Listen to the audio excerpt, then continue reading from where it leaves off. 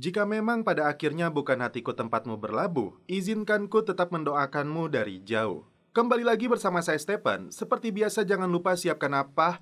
Ya tentunya kopi dan nutbray untuk menemani kalian dalam menonton alur cerita film ini. Selamat menyaksikan dan celepot!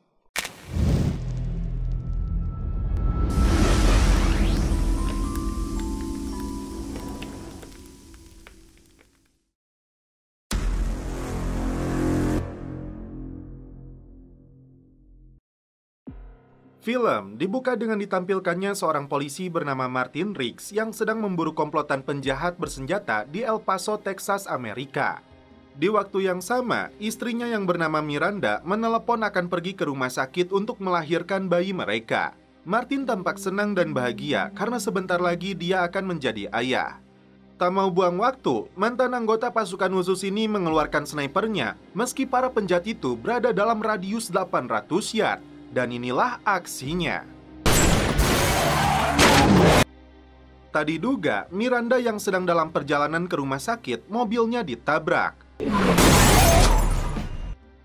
Tiba di rumah sakit, Martin terkejut karena istri dan anaknya yang masih berada di dalam kandungan telah tiada. Enam bulan berlalu, Sin berpindah ke Los Angeles. Detektif senior bernama Roger baru saja pulih pasca operasi jantung. Jam tangan khusus sebagai indikator denyut nadinya tidak pernah dia lepaskan. Dukungan penuh selalu diberikan istrinya yang bernama Tris. Kembali ke Martin yang memilih tinggal di dalam trailer mobilnya. Meski sudah enam bulan, kesedihan atas kematian Miranda selalu menghantui pikirannya. Mental dan psikologisnya jatuh, merasa tidak punya tujuan untuk hidup lagi. Tak aneh jika Martin berniat untuk bunuh diri. Berbeda dengan Roger yang berjuang untuk tetap hidup demi istri dan anak-anaknya. Kembali berdinas, Roger disambut oleh rekan-rekan dan komandannya yang bernama Brooks. Roger diberitahu bahwa dia akan memiliki partner baru bernama Martin, mantan marinir yang baru saja dipindahkan dari Texas. Dia mengingatkan rekannya ini dikenal brutal dan sadis. Tiba-tiba mereka mendapat laporan adanya perampokan dan penyekapan di dalam bank. Tiba di lokasi, situasi makin mencekam. Martin yang sudah berada di sana tampak santuy, bermaksud memperkenalkan dirinya kepada Roger. Martin masuk ke dalam bank berpura-pura ingin mengantarkan pizza. Para perampok ini pun bingung karena Martin meminta ditembak mati tepat di kepalanya. Meski tingkahnya konyol, Martin berhasil menghabisi ketiga perampok itu. Frank, and I hate saying this, I'm gonna get Seluruh pegawai bank segera keluar karena penjahat itu lebih dulu mengaktifkan peledaknya. Roger meluapkan kekesalannya karena rekan barunya itu sudah bosan hidup, meski misinya berhasil dianggap melakukan tindakan indisipliner, Martin tidak diperbolehkan membawa senjata. Singkat cerita, dua detektif khusus ini datang ke TKP tempat ditemukannya mayat pria yang diduga bunuh diri. Pria yang bernama Alvarez ini tewas setelah menembak kepalanya sendiri karena sepucuk pistol ditemukan di dekat tangan kanannya. Faktanya, dia juga mantan marinir. Namun Martin melihat banyak kejanggalan. Tak mau buang waktu, keduanya menemui janda korban yang tidak percaya suaminya bunuh diri. Meski ada bekas luka di pergelangan tangannya, dia menyebut itu sudah lama sekali setelah Alvarez kembali dari perang. Setelah pensiun, dia bekerja sebagai petugas keamanan di dermaga. Tidak ada yang mencurigakan, bahkan mereka berniat pindah ke rumah barunya di Arizona. Ditanya kepada anaknya korban, rupanya Alvarez itu kidal. Jelas bagi Martin dan Roger ini tidak masuk akal jika dia kidal, kenapa harus bunuh diri dengan tangan kanannya? Lokasi kedua yang mereka datangi adalah gudang importir tempat korban bekerja. Bertemu dengan pemiliknya, Martin tidak sengaja melihat pria dengan tato di leher. Faktanya, tato itu simbol dari kartel narkoboy asal Juarez. Bermaksud minta keterangan, pria ini malah menyerang Martin. Pria itu kabur karena petugas keamanan malah menghadang Martin. Pengejaran pun dilakukan oleh dua detektif ini. Kocaknya lagi, aksi kejar-kejaran sampai ke dalam jalur sirkuit Grand Prix. Bukan Martin namanya jika tidak beraksi dengan maksimal. Dia melompat ke atas mobil tersangka. Ketika mau ditangkap, sebuah bis lebih dulu menabraknya.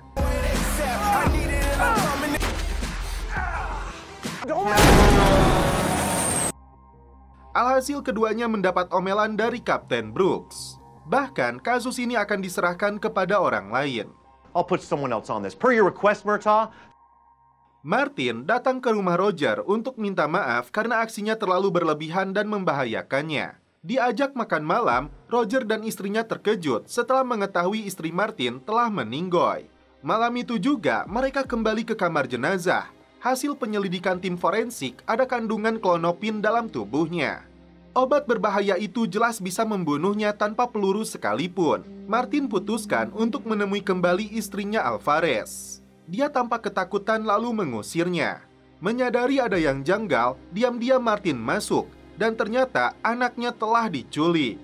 Mereka memaksanya mengembalikan narkoba yang dicuri oleh suaminya, tapi dia tidak tahu di mana barang itu. Kembali ke kabin, Martin mempersiapkan senjata laras panjangnya. Tak berselang lama, datanglah Roger membawa berkas bosnya Alvarez. Dugaan mereka, bosnya sengaja mencuri narkoboy milik bandar, lalu kesalahannya dilimpahkan kepada Alvarez. Karena misi ini terlalu bahaya, Martin memutuskan untuk memborgol tangannya Roger. Riggs! Tiba di lokasi, Martin langsung berhadapan dengan para penjahat ini, menyuruh mereka membebaskan anaknya Alvarez. Atau dia akan membunuh mereka semua. Martin putuskan untuk meletakkan senjatanya. Tiba-tiba, Roger muncul menerobos gudang ini. Dalam hitungan detik, mereka semua dihabisi. Tiba-tiba, ada penjahat yang melepaskan tembakan dari atas mengenai Martin. Pasrah dengan hidupnya, Martin meminta Roger menembak pelaku saat dia mengalihkan perhatiannya. Karena kesulitan melihat posisi penjahat itu,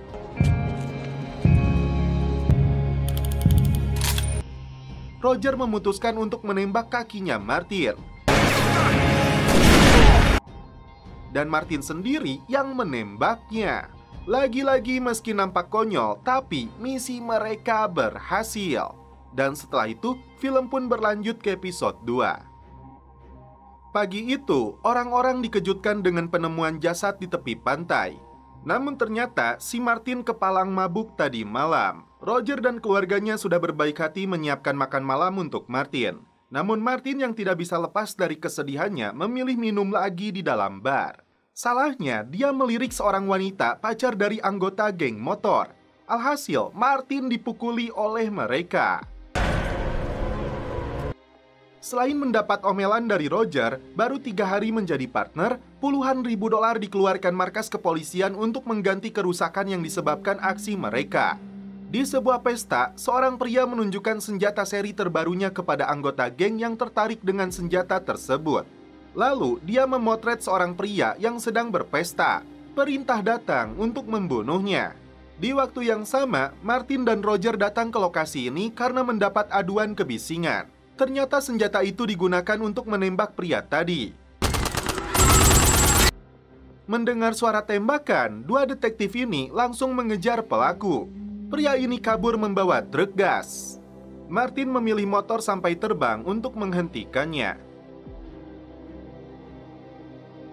Sedangkan Roger yang mencegat pelaku tidak berani untuk menembaknya. karena dia tidak mau terjadi ledakan besar. Padahal tetap saja ini yang terjadi. Kembali ke TKP, polisi mengira target utamanya adalah Ronald, petinju kelas menengah yang sedang naik daun.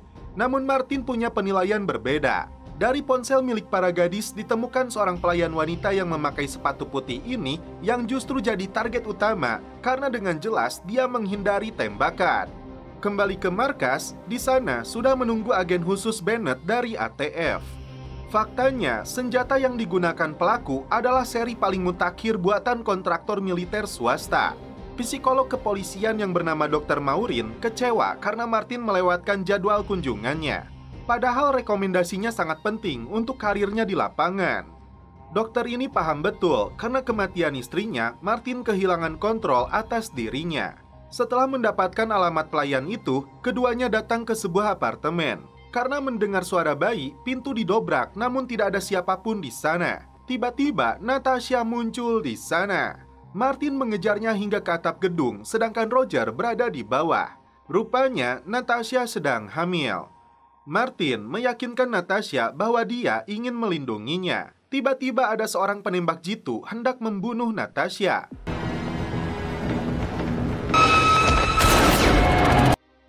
Meski tindakan Martin dianggap tidak wajar dan gila, faktanya dia berhasil menyelamatkan korban. Di sinilah Roger baru mengetahui bahwa Martin kehilangan juga anaknya yang masih berada dalam kandungan istrinya. Natasha mengaku kencan dengan seorang pria bernama Gino, namun dia malah mencampakkannya. Suatu hari, dia tidak sengaja melihat Gino dengan tumpukan uang dan senjata dalam kotak. Setelah kejadian itu, Gino terus memburunya. Martin berjanji akan menjaganya tetap aman. Dan kini dia berada dalam perlindungan sebagai saksi sekaligus korban. Roger dan Tris kini paham dengan kesedihan yang dialami Martin. Sampai dia tertidur di rumah mereka. Agen Bennett membeberkan senjata seri MG-10 itu diproduksi perusahaan swasta bernama Stonehill di San Diego. Tiba di perusahaan tersebut, Roger bertemu dengan pemiliknya untuk menunjukkan dokumen penjualan. Sedangkan Martin menemui salah seorang pekerja yang sedang menguji coba kemampuan senjata mutakhir ini. Diam-diam, Martin mencuri ponselnya. Faktanya senjata cacat yang tidak layak jual itu dibawa lalu disembunyikan agen ATF bernama Gino, orang yang ingin membunuh Natasha. Martin menemukan nama Gino dalam ponsel yang dia curi. Dan ternyata si Gino itu tiada lain tiada bukan adalah agen Bennett yang kini berhasil menemukan Natasha untuk dia bawa pergi. Martin segera meminta bantuan markas untuk melacak ponselnya Bennett. Kini, dia dan anteknya berada di sebuah gudang menyekap Natasha. Tiba di lokasi, Martin dan Roger kembali beraksi. Bennett menyuruh anak buahnya menembak bahu untuk memalsukan kematian Natasha. Namun tiba-tiba Martin lebih dulu menembaknya. Baku tembak pun terjadi.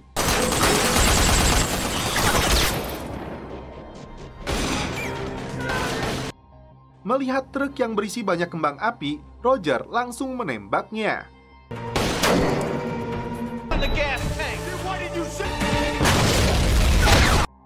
Dan akhirnya, gudang senjata ini meledak menghabisi Bennett dan antek-anteknya. Tris meminta kepada Martin untuk memastikan suaminya pulang dalam keadaan hidup. Dan setelah itu, film pun berlanjut ke episode 3. Sebuah truk lapis baja pembawa uang dirampok komplotan bersenjata. Ternyata supir truk tersebut adalah pensiunan polisi bernama Ned. Ned ini dulunya mentornya Roger. How you doing, buddy? Good. Oh, hell, I need the retraining. Look at me. Ternyata uang itu berasal dari toko-toko narkoboy lokal yang dijual di apotik. Tugasnya membawa uang itu ke perusahaannya tempat dia bekerja, yaitu Joint Asset Securities. Menemui pemiliknya yang bernama Carson, faktanya karena ganjo dilegalkan di California, pemilik perusahaan ini mengambil keuntungan 20% karena uang itu tidak bisa disimpan di bank. Confidentiality is extremely important. Good choice. Di dalam truk uangnya tercatat ada 17 juta dolar yang dirampok. Karena hanya kliennya yang mengetahui jadwal pengambilan uang tersebut, dua detektif ini meminta identitas mereka. Singkat cerita, keduanya mencari Loni dan Doni, pemilik uang yang dirampok. Check IDs. Tampak si Doni sedang menghisap dupa. Namun, tak banyak informasi yang mereka dapatkan. Kembali meminta keterangan dari Ned, ternyata pelaku yang merampok truk uangnya adalah Loni dan Doni sendiri. Karena Ned mencium bau dupa. LAPD, hello? Kembali ke rumah, mereka menemukan keduanya sudah tewas dengan kepala dipenggal. Menurut pengalaman Martin selama bertugas di Texas, aksi pemenggalan kepala biasanya dilakukan oleh geng lokal. Salah satu unit intel khusus beranggotakan pemuda bernama Cruz memiliki bekas luka di leher. Karena pernah menyamar jadi anggota kartel, tim mengajaknya ikut menyelidiki kasus ini. Sebelum dipenggal, tongkat listrik dengan daya 15.000 volt penyebab kematian Loni dan Doni. Yang Cruz ketahui, ketua geng bernama Paco biasa menggunakan tongkat listrik. Tiba di sebuah bengkel, Martin dan Roger dihadang anak buahnya Paco. There's just two of you?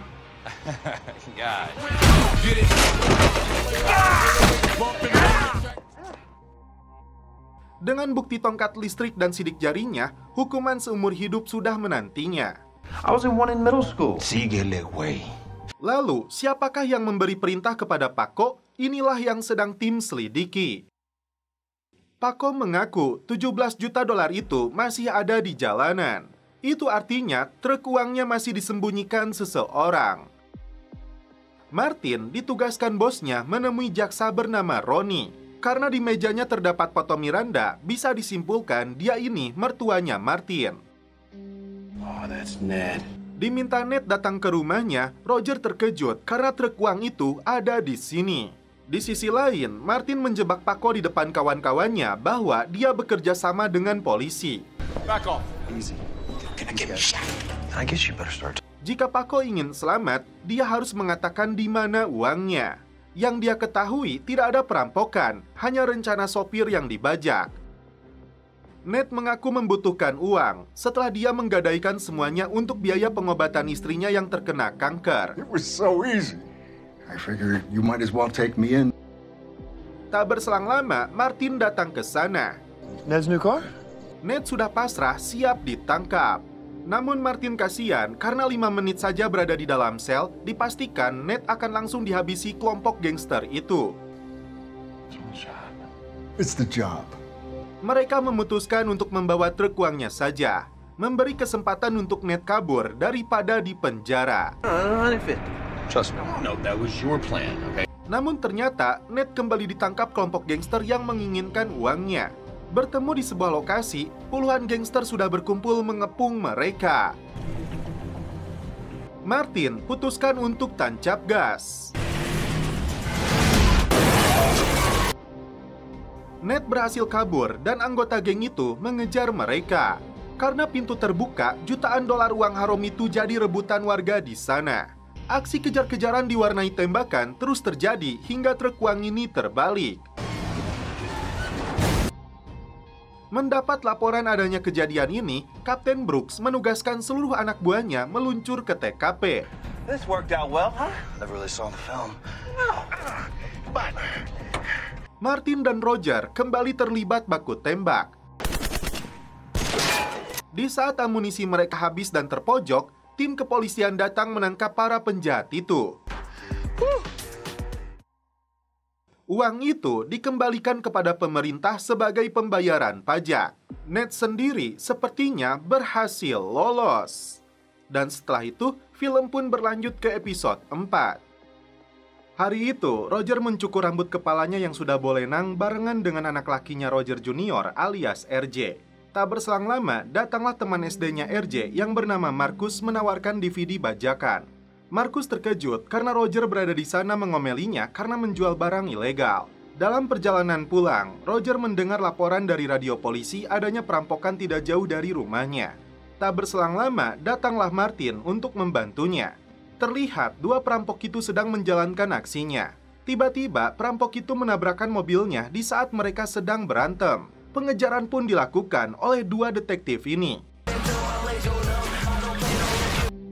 Mobil pelaku menabrak sebuah garasi lalu kabur menggunakan motor. Meski Martin berhasil menembak bahu salah satu pelaku, mereka berhasil lolos.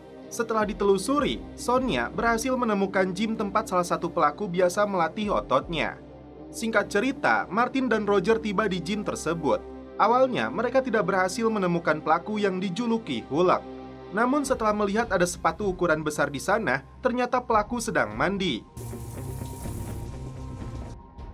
Dua detektif ini berjibaku dengan si Hulk. Beberapa kali menyetrumnya, pria ini tetap kuat. Hingga akhirnya mereka berhasil melumpuhkannya. Dibawa ke kantor polisi, si Hulk diinterogasi untuk memaksanya bicara siapa saja yang terlibat dalam perampokan rumah itu. Tim yakin dia dan rekannya yang tertembak itu hanya sebagai tukang angkut. Ada dalang atau otak di balik perampokannya, namun dia memilih menutup rapat mulutnya. Mengaku dialah dalangnya, namun tim tidak percaya. Penyelidikan kembali dilakukan untuk mencari pelaku di lokasi yang diduga sebagai kawasan kaum mereka. Dan ternyata Martin dan Roger menemukan pelaku yang tertembak itu. Martin berhasil menangkapnya. RJ diajak oleh Markus mengendarai mobil Porsche-nya. Tiba-tiba mereka dihentikan polisi. Markus terlihat ketakutan. Tapi RJ segera menunjukkan kartu nama ayahnya yang seorang detektif LAPD. Markus lega karena polisi itu tidak menangkap mereka. Saat itu juga Markus mencatat nomor ponsel ayahnya RJ. Tiba-tiba Markus mendapat pesan dari seseorang untuk segera datang. RJ terpaksa diturunkan di sana. Dibawa ke kantor polisi, Cruz melihat pesan yang masuk ke ponselnya si perampok. Alamat yang tertera dalam pesannya segera diberitahukan kepada Martin. Di waktu yang sama, 911 mendapat laporan perampokan dari alamat yang sama. Korban yang bernama Hani bersembunyi di dalam lemari dihubungkan dengan Martin. Dia melihat beberapa perampok sedang beraksi di dalam rumahnya. Martin menyuruh Hani tetap sembunyi, namun dia malah keluar karena merasa situasi sudah aman. Padahal perampok itu masih berada di sana, lalu membunuhnya. Tiba di TKP, Martin menemukan korban sudah tidak bernyawa. Kasus perampokan dan pembunuhan ini menjadi prioritas penting LAPD untuk mengungkapnya. Saudara korban yang bernama Eber tidak percaya Hani bisa bernasib naas seperti itu. Saat kejadian, dia mengaku sedang berada di luar, padahal tidak ada uang yang banyak di rumahnya. Apalagi mereka sudah tidak memiliki orang tua. Dalam perjalanan pulang, Martin dihubungi RJ meminta dijemput karena dia menyelinap keluar dari rumahnya untuk menemui cewek yang ternyata cowok di siang hari. RJ tidak mau menghubungi ayahnya karena takut diomeli. Roger sendiri sempat menghampiri Eber yang pulang menggunakan mobil mewah. Apakah wanita ini terlibat? Martin menasehati RJ untuk belajar dewasa mempertanggungjawabkan perbuatannya kepada ayahnya jika dia menyadari telah salah. Roger mendapat informasi dari rekannya bahwa anaknya mengendarai mobil mewah dengan si Markus lalu pulang diantarkan oleh Martin. Bukannya berterima kasih, Roger justru marah kepada rekannya ini tanpa mendengar penjelasan karena dianggap mencampuri urusan keluarganya. Dari pengakuan RJ, ternyata si Markus itu hanya sebatas petugas valet parking. Saat itu juga Roger menghubungi ponselnya. Masalahnya, Markus terlibat juga dengan kawanan perampok bersenjata yang telah membunuh Hani. Ponselnya dibuang, lalu Markus dibawa mereka untuk ikut dalam aksi perampokan selanjutnya. Martin dan Roger mencari informasi dari teman-teman Markus yang bekerja sebagai valet parking. Tidak sengaja, mereka juga menemukan ponselnya Markus. Para penjahat itu ternyata membuka perusahaan valet sebagai kedok, sekaligus para pegawainya yang direkrut menjadi perampok. Bos mereka diketahui bernama Wiley, hingga tim mendapatkan alamat rumah yang menjadi target perampokan selanjutnya. Tiba-tiba, pemilik rumah datang saat kawanan perampok ini sedang melancarkan aksinya. Mereka disekap, lalu Markus dipaksa untuk menembak mereka. Martin dan Roger menerobos masuk untuk mencegahnya. Para perampok itu langsung dihabisi oleh Martin. Roger membujuk Markus untuk meletakkan pistolnya. Tiba-tiba, salah satu penjahat melepaskan tembakan mengenai Markus. Untung saja dia lolos dari maut. RJ meminta maaf kepada ayahnya. Kapten Brook meminta dua anak buahnya yang sedang marah-marahan ini untuk berdamai. Karena sama-sama egois, keduanya ditugaskan menemui dokter Maureen. Tingkah mereka lagi-lagi menyebalkan, namun setelah itu keduanya kembali kompak. Dan setelah itu, film pun berlanjut ke episode 5. Seorang mantan prajurit angkatan laut bernama Jackson melamar jadi satpam di toko perhiasan. Sambil menunggu, Jackson meminta susu kepadanya. Pemilik toko menolak karena mereka sudah memiliki satpam tetap. Jackson yang tidak terima langsung menghajar si satpam dan mencuri beberapa kalung perhiasan. Meminum susunya lalu pergi. Laporan pencurian yang dilakukan veteran itu diterima markas LAPD. Faktanya, saat bertugas di pasukan khusus, Jackson seorang penembak jitu. Dr. Maureen menilai ada masalah mental dan psikologis yang dialami Jackson. Bisa jadi seperti yang dialami Martin, namun dia masih bisa mengontrolnya. Rumah sakit khusus veteran biasanya memiliki database masalah PTSD yang dialami marinir yang baru pulang dari tugas. Menurut pengakuan dokter rumah sakit ini, Jackson mengalami masalah PTSD cukup parah Namun, dia tidak menjalani kontrol dan konsultasi dengan baik. Datang ke apotek, Jackson marah-marah memaksa pegawai memberikan obat penghilang depresi seperti contoh yang dibawanya. Petugas keamanan tidak berkutik saat berhadapan dengan mantan marinir ini. Mendapat laporan adanya penyerangan, Martin dan tim segera meluncur ke TKP. Tim kepolisian sudah mengepung minimarket ini. Martin meminta rekan-rekannya untuk menunggu karena dia sendiri yang akan coba membujuknya. Namun Roger dan Cruz bersikeras untuk ikut masuk. Terlihat Jackson sudah menghabiskan beberapa botol susu. Sebagai sesama mantan pasukan khusus, Martin membujuk Jackson untuk menyerahkan diri. Namun kemunculan Cruz justru membuat dia marah dan langsung kabur.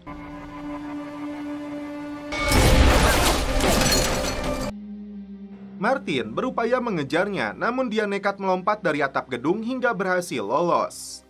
Dari hasil penelitian tim forensik, obat itu mengandung senyawa kimia yang mirip dengan SSRI atau Selective Serotonin Reuptake Inhibitors. Bertujuan menangkal depresi, namun dari mana dia mendapatkannya itulah tugas detektif. Martin sendiri sudah mempelajari berkasnya Jackson, dan ternyata beberapa anggota dari timnya tidak berhasil kembali. Beberapa di antaranya tewas karena kecelakaan. Maureen menduga Jackson korban dari uji coba obat depresi yang belum lolos BPOM. Karena Tris pengacara hebat, tim meminta bantuannya menyelidiki hak paten obat itu termasuk perusahaan pembuatnya. Roger sempat cemburu karena istrinya ini punya asisten baru yang gantengnya kelewatan. Singkat cerita, dua detektif ini datang ke perusahaan farmasi untuk menemui CEO-nya yang bernama Patricia. Terungkap alasan Jackson minum susu untuk menetralisir obat tersebut akibat efek sampingnya yang buruk. Patricia membantah perilaku kriminal yang dilakukan Jackson karena obat buatannya. Ternyata dia serahkan obat tersebut kepada dokter Cox di rumah sakit veteran yang menangani pengobatannya. Dia juga yang memiliki daftar veteran yang dijadikan kelinci percobaan. Tim yakin Patricia berbohong dengan mengkambing hitamkan dokter itu. Faktanya, dokter Cox sudah berada di ruang jasad tewas akibat ditembak dari jarak dekat. Dari hasil penyelidikan TKP, ditemukan sidik jarinya Jackson. Saat itu juga, Kapten Brook mengumumkan veteran itu sebagai buronan meski Martin tidak percaya karena masa iya penembak jitu menembak dari jarak dekat. Martin dan Roger meluncur ke dalam hutan setelah mendapat laporan dari warga yang melihat Jackson. Sebagai mantan prajurit, firasat Martin mengatakan Jackson sedang membidik mereka. Martin berteriak meminta Jackson keluar karena dia hanya ingin bicara. Jackson mengaku menemukan Dr. Cox hampir mati, namun bukan dia yang membunuhnya. Meski sudah berada dalam bidikannya, Martin tetap santuy. Dia mengajaknya sama-sama menyelesaikan misi ini. Tiba-tiba, Roger sudah menginjak ranjau. Tidak ada pilihan, Martin berlari dan ini yang terjadi. Beruntung, Roger lolos dari maut. Cruz mengajak Sonia meminta keterangan dari seorang napi ahli peledak. Menurutnya, beberapa peledak C4 cukup untuk meledakkan gedung. Temuan ini Cruz serahkan kepada Martin yang langsung merespon datang kembali ke perusahaan farmasi ditemani Roger. Tiba-tiba, lift berhenti.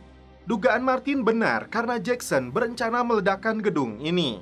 Setelah berhasil keluar dari dalam lift, muncul Jackson mengenakan rompi yang berisi bahan peledak aktif karena ingin membalaskan dendam kematian saudara-saudaranya yang tewas akibat obat buatan Patricia. Martin coba membujuknya, namun anak buah Patricia malah menembak Jackson. Tak ada waktu lagi, Roger dan Martin melompat dari gedung tersebut untuk meledakkan rompinya. Jackson pun selamat dan kini mendapat perawatan meski aksi kriminalnya harus dia pertanggungjawabkan. Dan setelah itu, film pun berlanjut ke episode 6. Seorang wanita berlari di tengah jalan karena dikejar sosok pria misterius yang menggunakan mobil sport warna merah. Korban akhirnya tewas mengenaskan setelah ditabrak tepat di depan pohon kelapa. Lagi enak-enaknya tidur, Martin terbangun karena ada beberapa pria yang memainkan musik rock tidak jauh dari trailernya. Merasa terganggu, Martin menyuruh mereka pindah namun mereka menolak. Hingga dia mencabut kabelnya. Korban yang diketahui bernama Nina menjadi kasus selanjutnya yang harus diungkap oleh tim detektif. Mobil pelaku tidak tercatat nama pemiliknya, namun tercatat berasal dari Prime Exotic. Martin dan Roger bergerak cepat mendatangi showroom mobil mewah tersebut. Listen, I'm LAPD. Roger meminta informasi pembeli mobil merah F355 dari manajernya. Hey, Joey, let's go for a test ride. Karena menolak, Martin membawa pria ini dengan salah satu mobilnya dalam kecepatan tinggi. Please. Oh? Akhirnya, dia mengaku mobil tersebut dibeli oleh seseorang bernama Dylan Ashworth. Kapten Brook membeberkan bahwa Dylan anak dari Henry Ashworth, keturunan sultan kaya raya yang menggaji seluruh biro hukum. Siapa pun dia, di mata hukum tetap sama. Dan karena itu, mereka akan meminta keterangan dari si Dylan. Datang ke istananya yang dipenuhi cewek dolar kuning, Martin seperti melihat seseorang yang dia kenal. Roger sampai menjenggut rambut si Dylan karena tidak proaktif menjawab pertanyaannya dan malah mengonsumsi narkoboy. Do you have any idea who you're messing with? That's Fender Miranda's. Kembali ke trailernya, Martin melihat rekaman pidato sahabat istrinya yang bernama Rachel. Sure. What do you need? Muak dengan tetangga barunya yang kembali berisik, kali ini Martin menghancurkan gitar mereka. Diinterogasi di kantor polisi, Dylan mengaku mobil Ferrari merah miliknya itu dicuri. Karena pengacaranya datang, Dylan kembali bebas tanpa informasi berharga yang bisa Roger dapatkan. You see that girl in the morgue? Martin menemui Rachel karena ingin tahu kenapa dia berada di rumahnya si Dylan. Karena ini berkaitan dengan kematian Nina. Rachel mengaku diundang oleh tuan rumah yang bernama Julian. Yang dia ketahui, Julian tinggal di Hotel Amal. Sebelum pergi, Martin mengingatkan Rachel untuk menjauhi Julian dan juga Dylan. Dua detektif ini menguping pembicaraan Julian dengan seseorang. Setelah itu, dia menghampiri seorang wanita. Not a scratch ring. Martin bertugas membuntuti Julian. Setelah menghentikan kendaraannya, Martin sengaja merusak spion mobilnya. Mengikuti sampai kamar hotel, Roger melihat wanita ini sedang menjajakan tubuhnya yang seksoid tapi beralasan sedang main pingpong. Martin tidak sengaja melihat buku catatan berlian yang tidak dia pahami apa isinya. Si Julian pun kembali dibebaskan. Roger marah karena pacar putrinya yang bernama Cidau memajang foto Riana putrinya dengan pakaian seksoid. Dia mengajak Martin untuk menciduk si Cidau yang bekerja menyewakan papan seluncur. I'm Rihanna's dad. Daripada dihajar, Martin punya saran lebih baik untuk memanfaatkan Cidau yang memiliki catatan kriminal sebagai mantan pencopet. Cidau ditugaskan mencuri buku catatan dari dalam saku bajunya si Julian. Well done. Buku kecil itu berisi nama-nama para gadis dan kliennya yang diduga diperjualbelikan. Martin kembali menemui Rachel untuk meminta informasi apa maksud isi buku tersebut. Karena nama Rachel ada di sana. Nama itu sesuai julukan tempat para gadis berasal. Yang Rachel ketahui, Dylan tidak membunuhnya karena Dylan bersamanya setiap malam. Please. Tiba-tiba, Julian datang untuk membawa Rachel. Are. Dari buku tersebut, Kapten Brooks dan Sonya menyimpulkan bahwa Nina sedang bersama Henry, ayah dari si Dylan. Faktanya, getah pohon yang ditemukan di kaki korban berasal dari rumahnya Sultan itu. Dan itu artinya kemungkinan besar Henry lah yang membunuh korban. Red Dawn Full Moon Japanese Maples. Rachel tidak bisa lari karena Julian membawanya ke rumah si Henry sebagai hidangan malam Jumat. I think I'd like to leave. I'm sorry. You seem a little stressed. Kalungnya sempat terjatuh saat pengawal Henry memaksanya masuk. Martin dan Roger langsung datang ke rumahnya. Sempat dihadang pengawalnya, Martin langsung memberinya pelajaran. Di waktu yang sama, dia menemukan kalung milik Rachel. Berada dalam genggaman Henry Sugiono, Rachel melawan dengan memukul kepalanya. Julian ditangkap oleh Martin. Rachel berlari dari kejaran Henry, disusul Martin yang akhirnya melepaskan tembakan.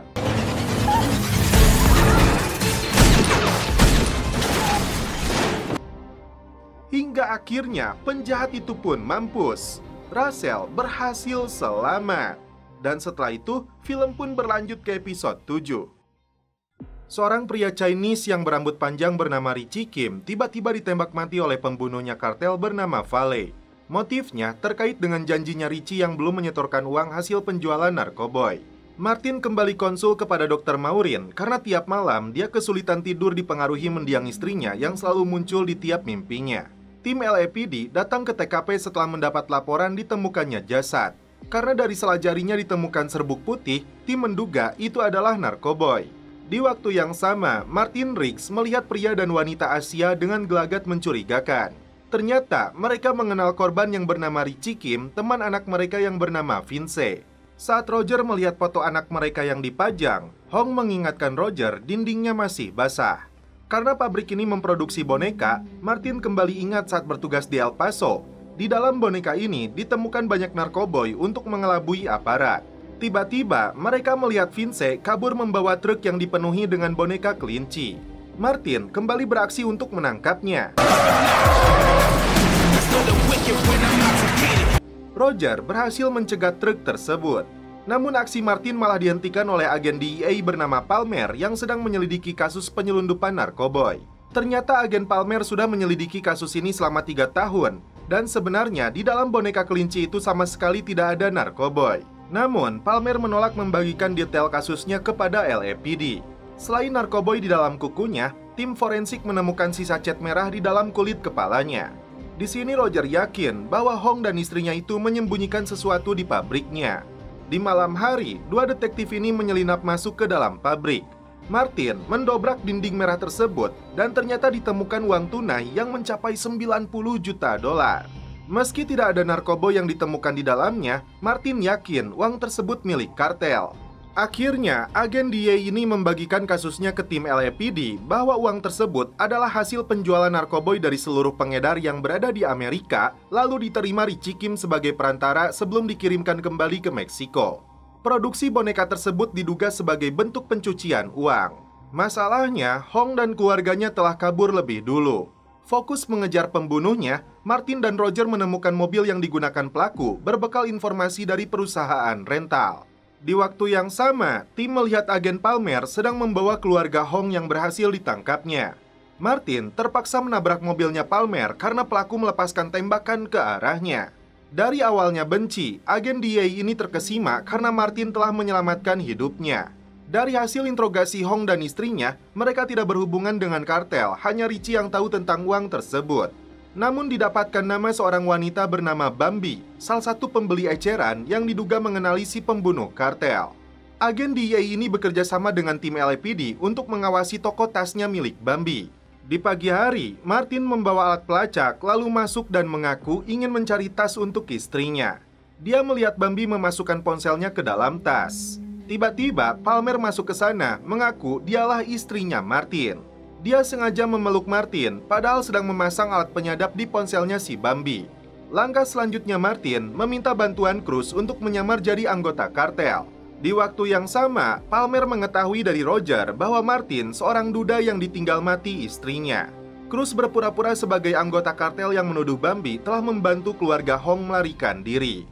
Tidak mau dituduh, pengedar narkoba ini menghubungi si pembunuh yang bernama Valley untuk bertemu. Tapi Bambi yang pintar memasukkan ponselnya ke dalam air hingga tim tidak bisa menyadapnya. Tidak mau kehilangan buruannya, Martin membawa alat pelacaknya lalu bersembunyi di dalam bagasi mobilnya si Bambi. Bertemu di basement, Vale yang pintar ternyata mengetahui ada seseorang di dalam bagasi. Setelah memberi tembakan peringatan, Martin terpaksa keluar. Tiba di basement tersebut, Roger dan Palmer hanya menemukan mobil dan alat pelacaknya. Ternyata Martin sudah disekap di lokasi tersembunyi oleh Vale. Karena Bambi Kukulutus tidak mau terlibat dengan penyekapan polisi ini, akhirnya si Vale menghabisinya. Martin pun disiksa untuk mengetahui seberapa besar polisi tahu tentang operasinya. Martin berhasil melakukan perlawanan hingga si Vale pun kabur. Namun, dia kembali muncul menodongkan senjata mengancam akan membunuh Martin. Tell me what you know.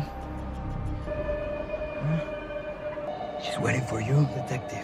Beruntung, Roger dan Palmer datang tepat waktu menyelamatkannya. Where's Riggs? Riggs! Hey, Raj. Well, you in the middle, bro. Maureen memberi saran kepada Martin untuk mencari pasangan agar pikirannya tidak terus-menerus dipengaruhi mendiang istrinya. Tiba-tiba, Palmer mengaku sebagai janda membuka dirinya terhadap Martin. Namun, mantan anggota pasukan khusus ini masih menutup diri. Kawanan kelompok bersenjata masuk ke dalam kasino menggasak jutaan dolar yang dipajang sebagai hadiah judi. Diam di atas trailernya, Martin meluapkan kesedihan dan penderitaan di hatinya dengan minum santuy sambil menembak botol yang dilemparnya. Tiba-tiba, dia menemukan cek senilai 147 ribu dolar yang baru dia ingat hasil penjualan rumah yang tadinya akan ditempati bersama Miranda. Datang ke TKP, tim LAPD mendapat informasi dari pemilik bahwa pelayan koktelnya yang bernama Sarah mengaku melihat penutup mesin motor pelaku bergambar ular. Karena aktivitas kasino masih berjalan, Roger sampai bolotot terkejut karena Martin memasukkan cek penjualan rumahnya ini sebagai taruhan. Padahal uang itu sangat berharga untuk tunjangan Martin di hari tua. Tidak mau sahabatnya ini berbuat konyol, Roger mengambil kembali ceknya. Padahal dadunya berhenti di angka yang Martin pasang. Melihat kembali rekaman CCTV, Cruz dan Sonya heran dari mana Sarah bisa melihat motor pelakunya karena perampokan itu terjadi dengan cepat. Pria bernama Billy mengaku petugas asuransi kasino datang untuk bertanya bagaimana dia bisa tahu motor pelaku. Sarah mengaku sudah terbiasa mengingat wajah orang dengan baik karena pekerjaan sebagai pelayan. Namun ternyata si Billy ini bagian dari kawanan perampok yang hendak membunuh Sarah untuk mengamankan identitasnya. Di waktu yang sama, Martin dan Roger datang untuk mendapatkan keterangan lagi dari Sarah. Apakah dia berbohong atau tidak? Tiba-tiba mereka mendengar suara tembakan. Dia melihat Sarah sudah terkapar, namun masih hidup. Si pelaku ternyata sudah kabur melalui jendela. Martin menemukan anak Sarah yang bernama Eden bersembunyi di dalam lemari. Dibawa ke rumah sakit, kondisi Sarah stabil, sedangkan Eden dianggap sebagai saksi kunci yang melihat wajah pelaku. Eden mendengar penembak ibunya mengaku dari kasino, namun dia yakin pria ini berbohong. Sementara itu, Roger dan Sonya datang ke bengkel Harley untuk mencari informasi pelanggannya yang membuat desain ular di kap mesinnya. Ternyata, hampir semua motor rata-rata desainnya bergambar ular.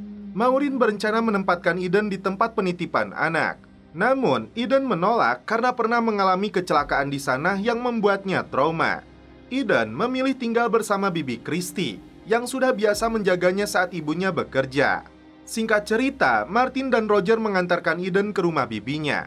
Ternyata Christy menolak karena dia bukan bibinya, hanya teman Sarah yang biasa ketitipan Eden. Sebelum pergi, Roger melihat gelagat Christy mencurigakan. Ternyata di dalam garasinya, Roger melihat sebuah motor cross. Tiba-tiba, pelaku yang bersembunyi di dalam melepaskan tembakan. Dengan cepat, Roger melumpuhkannya. Dibawa ke kantor polisi, Roger memberi pelajaran kepada pelaku yang hampir merenggut nyawanya. Dari balik kaca, pelaku yang tadi dan beberapa orang lainnya ditampilkan agar Eden bisa melihatnya. Tapi tidak ada satupun yang dia kenali sebagai pelaku penembakan ibunya. Roger membujuk istrinya agar diizinkan membeli motor Harley. Tri sempat menolak karena Roger hampir mati gara-gara naik sepeda ontel. Kembali ke bengkel Harley, Roger melihat pria yang sedang berdiri dengan motornya tepat di depan kasino. Dia mengajak tidur di dalam trailernya. Eden mengaku bahwa sebenarnya dia tidak melihat wajah pelaku, hanya mendengar suaranya saja. Eden melakukan ini agar dia dan ibunya yang janda tetap aman di bawah perlindungan polisi. Bukan lagi sebagai saksi kunci, mau tidak mau, Maureen akan menempatkannya di TPA. Berbekal foto yang dilihatnya, Roger menemukan tersangka perampokan dan penembakan. Pengacara tersangka memberitahu Billy bahwa saksi anak itu akan ditempatkan di TPA. Singkat cerita, Martin mengantarkan Eden ke TPA meski raut wajahnya cemberut. Saat Martin hendak pergi, datanglah si Billy mengaku dari LAPD hendak mengajukan pertanyaan kepada Eden. Mendengar suara pria ini, Eden yakin dialah pelaku yang menembak ibunya.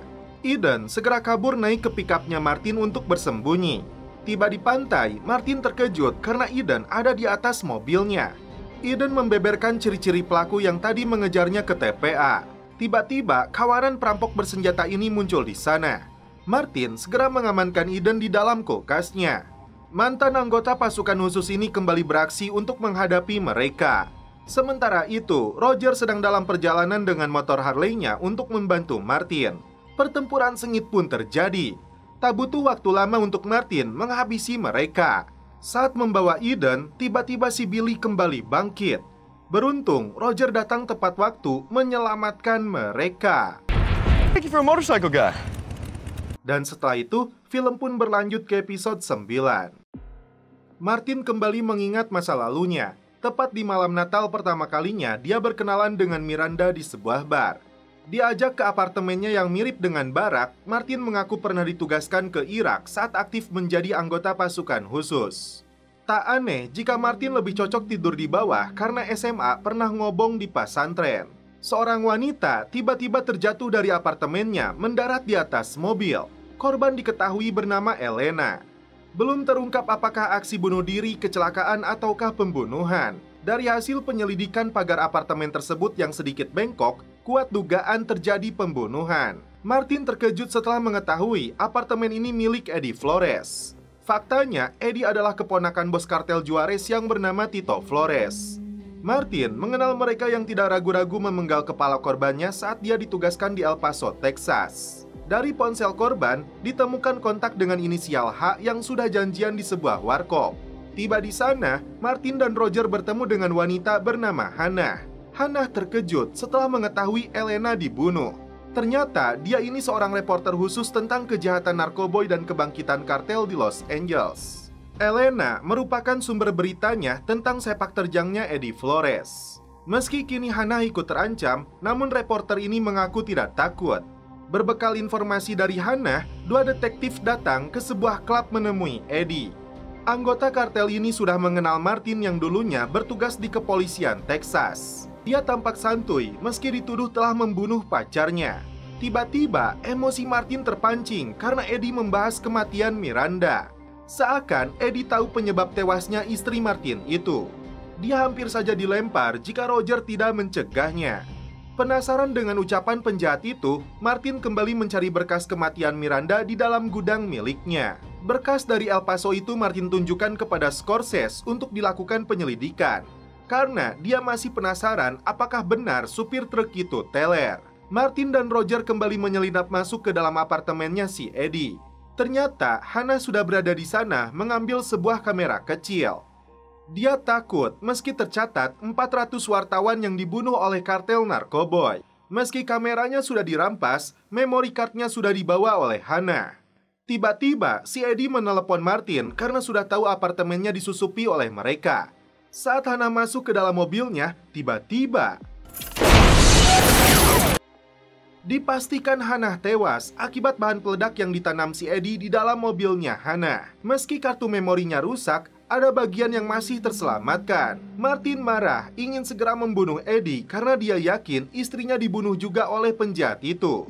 Namun Scorsese menilai tidak ada sesuatu yang ganjil dari berkas kematiannya Miranda. Martin yang kembali terpuruk mengingat momen indah di malam Natal ketika Miranda memberikan kado terindah sebuah tes pack yang menunjukkan dia positif hamil. Merasa tidak kuat lagi, Martin berniat bunuh diri. Tapi Roger keburu datang ke sana mengajak pergi ke markas. Video rekaman yang berasal dari kartu memori itu terlihat seorang pria mendorong korban dari apartemen. Awalnya wajah pelaku tidak terlihat, namun setelah dicermati lebih dalam dari pantulan pohon Natalnya, akhirnya wajah si Eddie Flores terlihat dengan jelas. Saat itu juga, Kapten Brooks menugaskan dua anak buahnya ini menangkap si Eddie. Datang ke klub, anggota kartel ini tidak bisa berkutik lagi saat ditangkap. Dia sempat menyuruh anak buahnya menghubungi pria itu. Seorang pria mengaku dari LAPD mengantarkan hadiah Natal untuk Tris. Tiba-tiba Tio Flores menghubungi Martin. Dia mengatakan keluarga rekannya kini terancam dibunuh, kecuali keponakannya diantarkan ke bandara. Roger segera menghubungi Tris dan rupanya pria ini anggota kartel yang mengancam akan membunuh Tris jika Roger tidak segera mengantarkan Eddie ke bandara dalam waktu satu jam. Martin putuskan membawa Eddie ke bandara, sedangkan Roger menyelamatkan keluarganya dengan membawa Ferrari milik si Eddie. Tiba di landasan, jet pribadinya bos kartel itu sudah menunggu. Sementara itu, Roger memberi kode kepada Tris bahwa lampu akan dimatikan. Setelah mati, Tris mengarahkan penjahat ini menyalakan kembali saklarnya di dalam garasi. Saat itulah Roger muncul untuk melumpuhkannya. Setelah Martin menerima pesan dari Roger keluarganya sudah aman, Martin kembali menangkap si Eddie sebelum naik pesawat. Dia memaksanya bicara apa sebenarnya yang terjadi kepada Miranda. Tiba-tiba, anak buah Tito melepaskan tembakan untuk membunuh si Eddie. Bos kartel ini beralasan keponakannya itu telah membawa aib bagi keluarganya. Tapi Martin sendiri tidak bisa menangkapnya karena Tito dilindungi banyak anak buahnya. Martin bertanya apa Eddie juga membunuh istrinya. Tito bungkam dan memilih pergi. Tiba di Meksiko, Tito meminta seseorang mengawasi Martin. Jangan sampai dia mengetahui apa yang sebenarnya terjadi kepada istrinya. Dan setelah itu, film pun berlanjut ke episode 10. Di sebuah klub tempat para pengunjungnya memakai headphone, pria bernama Adam membagikan obat kepada orang-orang yang sedang dugem. Keluar dari klub, tiba-tiba Adam ditembak mati oleh orang tidak dikenal. Tim detektif datang ke TKP setelah mendapat laporan ditemukannya jasad pria. Martin dan Roger menelusurinya sampai masuk ke dalam klub. Mereka merampas obat yang diduga narkoboy itu dari salah satu pengunjung. Sang DJ mengatakan obat yang bernama Owls itu legal karena sebatas suplemen. Dia terkejut karena Adam yang mengelola klub ini telah tewas. Owls diambil dari nama ahli kimia yang membuat obat tersebut yaitu Owlsley. Yang dia tahu terjadi pertengkaran antara Adam dan Owlsley. Namun DJ ini tidak tahu di mana Owlsley tinggal. Hasil penelitian Scorsese, obat itu menurutnya sangat legal dan mengesankan karena diramu dari bahan-bahan kimia yang sah tapi menciptakan halusinasi yang luar biasa. Tim akhirnya menemukan rumahnya Owlsley wanita cantik yang masih muda namun seorang ahli kimia cerdas. Ditanya tentang kematian Adam, dia menolak terlibat karena selama tiga tahun terakhir, Owlsley tidak pernah keluar dari rumah sekaligus labnya ini. Terkait perselisihannya dengan Adam, itu dikarenakan dia mendesaknya untuk meningkatkan produksi pesanan dari geng Koreaton yang ingin mendistribusikan obat buatannya. Tak hanya itu, Owlsley melihat Adam diancam mereka dengan pistol. Saat tim membawanya, tiba-tiba komplotan geng Korea itu melepaskan tembakan. Untuk mendukung penyelidikan ini, Kapten Brooks menugaskan detektif Henry Cho. Roger dan Henry akan datang ke klub khusus Korea yang biasa didatangi si bos gangster. Sedangkan Martin kembali menemui Owlsley. Dari berkas yang dibawanya, dia menunjukkan Thomas Kang, pimpinan geng Korea yang mengancam Adam. Seorang wanita sekso yang bekerja di klub Korea memberitahu Roger bahwa Thomas Kang berada di sana. Sesuai prosedur, mereka meminta bantuan terlebih dulu, tidak seperti yang dilakukan Martin. Namun ketika Martin datang, mereka heran kenapa tidak langsung bertindak. Tiba-tiba, anggota geng itu melepaskan tembakan. si Thomas berhasil kabur dari klub tersebut. Martin pun ngomel karena seharusnya Roger segera bertindak dari tadi. Diajak makan malam, Tris dan Roger rupanya sedang menjodohkan Martin dengan teman mereka.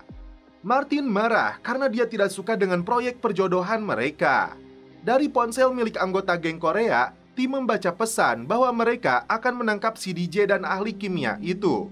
Tim berbagi tugas. Martin datang ke rumahnya Owlsley yang sudah diacak-acak komplotan geng. Sedangkan Roger dan Henry menemukan keberadaan si DJ di sekitar klub dalam kondisi terluka parah. Sementara itu, Martin menemukan Owlsley bersembunyi di bawah lantai. Setelah keluar, Owlsley langsung memeluk Martin. Dia mengaku tidak tahu apa tujuan geng itu memburunya. Di dalam tasnya, Martin menemukan foto Adam. Apakah keduanya memiliki hubungan pribadi? Pengakuannya kepada Roger, si DJ ini dipukuli geng Korea yang menginginkan uangnya kembali. Mereka mengaku sudah memberikan setengah juta dolar kepada Adam. Tapi si DJ ini mengaku tidak tahu tentang uang tersebut. Bahkan dia tidak kenal dengan Owlsley. Setelah Martin mendesaknya, ternyata Owlsley jatuh hati kepada Adam sejak kuliah. Tapi cintanya bertepuk sebelah kenca. Adam hanya memanfaatkan kecerdasannya untuk bisnis obat hingga bos geng Korea itu memberikan setengah juta dolar untuk orderan obatnya. Setelah mengetahui Adam tidur dengan wanita lain, Owlsley putuskan untuk membunuhnya. Di waktu yang sama, kepala Martin merasa pusing tujuh keliling. Ternyata Owlsley telah memberinya obat bius melalui sentuhan tangan. Ahli kimia ini kabur membawa setengah juta dolar. Meski kondisinya linglung, Martin berusaha mengejar kembali Owlsley. Tiba-tiba, Martin ditangkap geng Korea itu. Get your hands off me! Martin melompat ke atas mobilnya sampai Roger tidak sengaja melihatnya. Setelah terlempar, Roger langsung menjemput rekannya itu. Aksi pengejaran pun dilakukan. Mobil para penjahat itu terbalik setelah Roger menembak bannya. Mereka berhasil ditangkap. Sedangkan Owlsley memilih duduk ditemani Martin. Tadi duga ahli obat kimia ini memilih mengakhiri hidupnya dengan obat buatannya sendiri. Dan setelah itu, film pun berlanjut ke episode 11.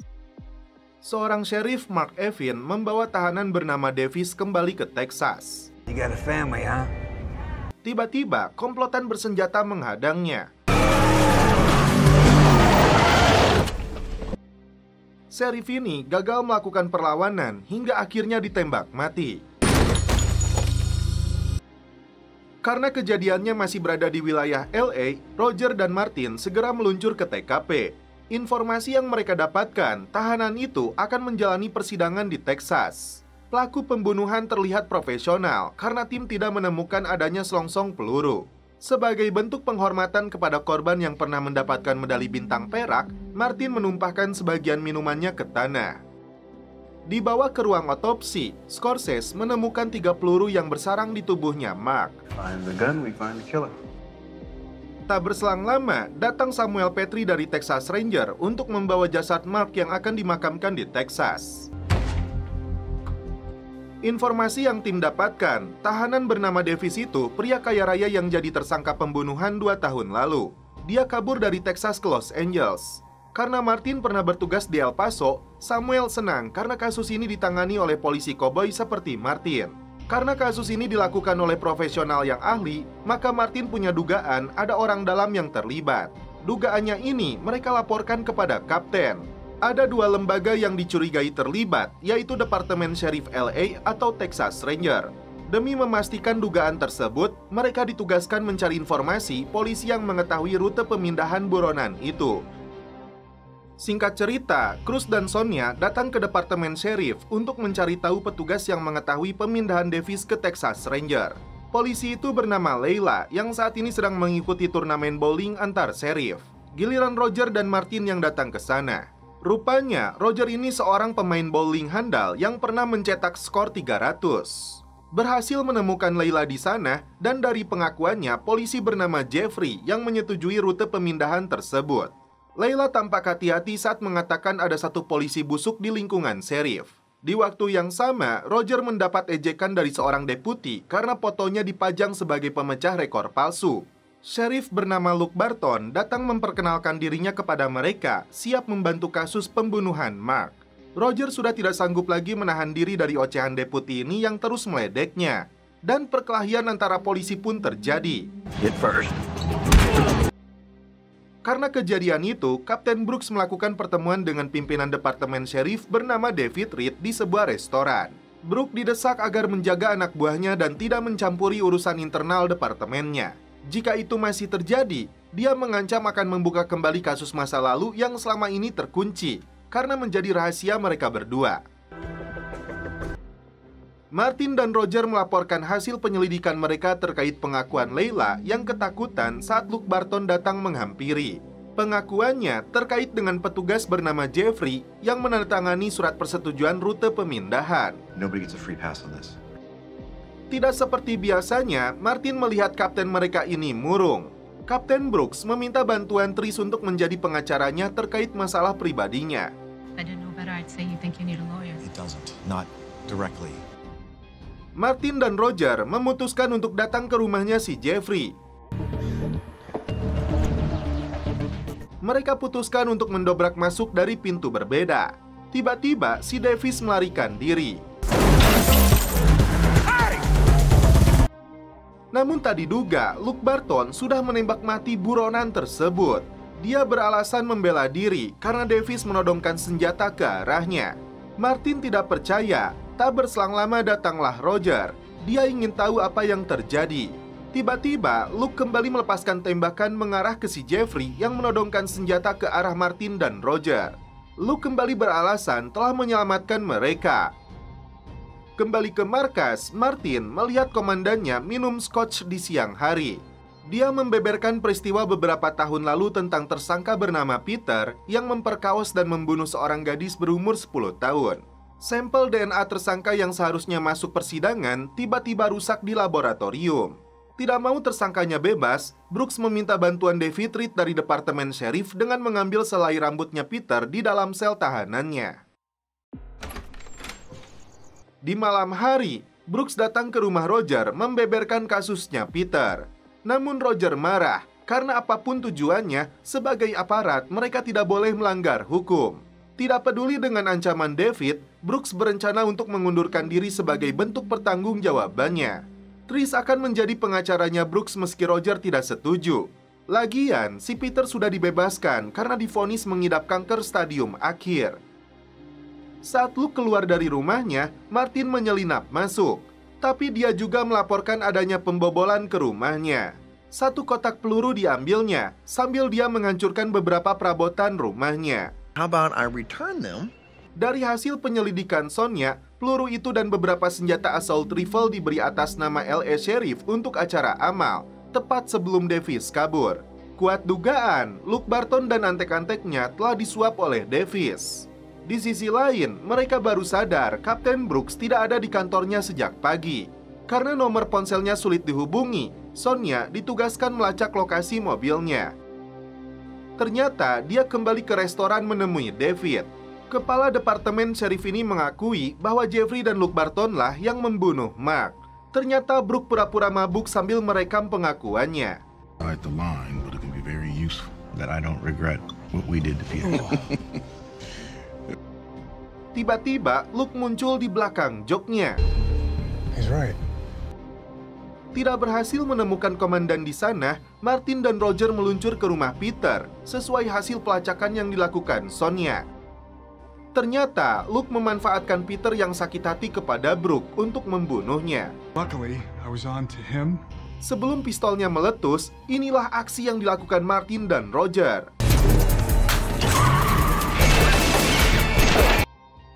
Martin mengejar Luke yang berniat kabur, sedangkan Kapten Brooke menghabisi Peter yang hampir menembak Roger. Giliran Martin yang memberi pelajaran kepada Luke si pembunuh. Sebelum pada akhirnya dia ditangkap.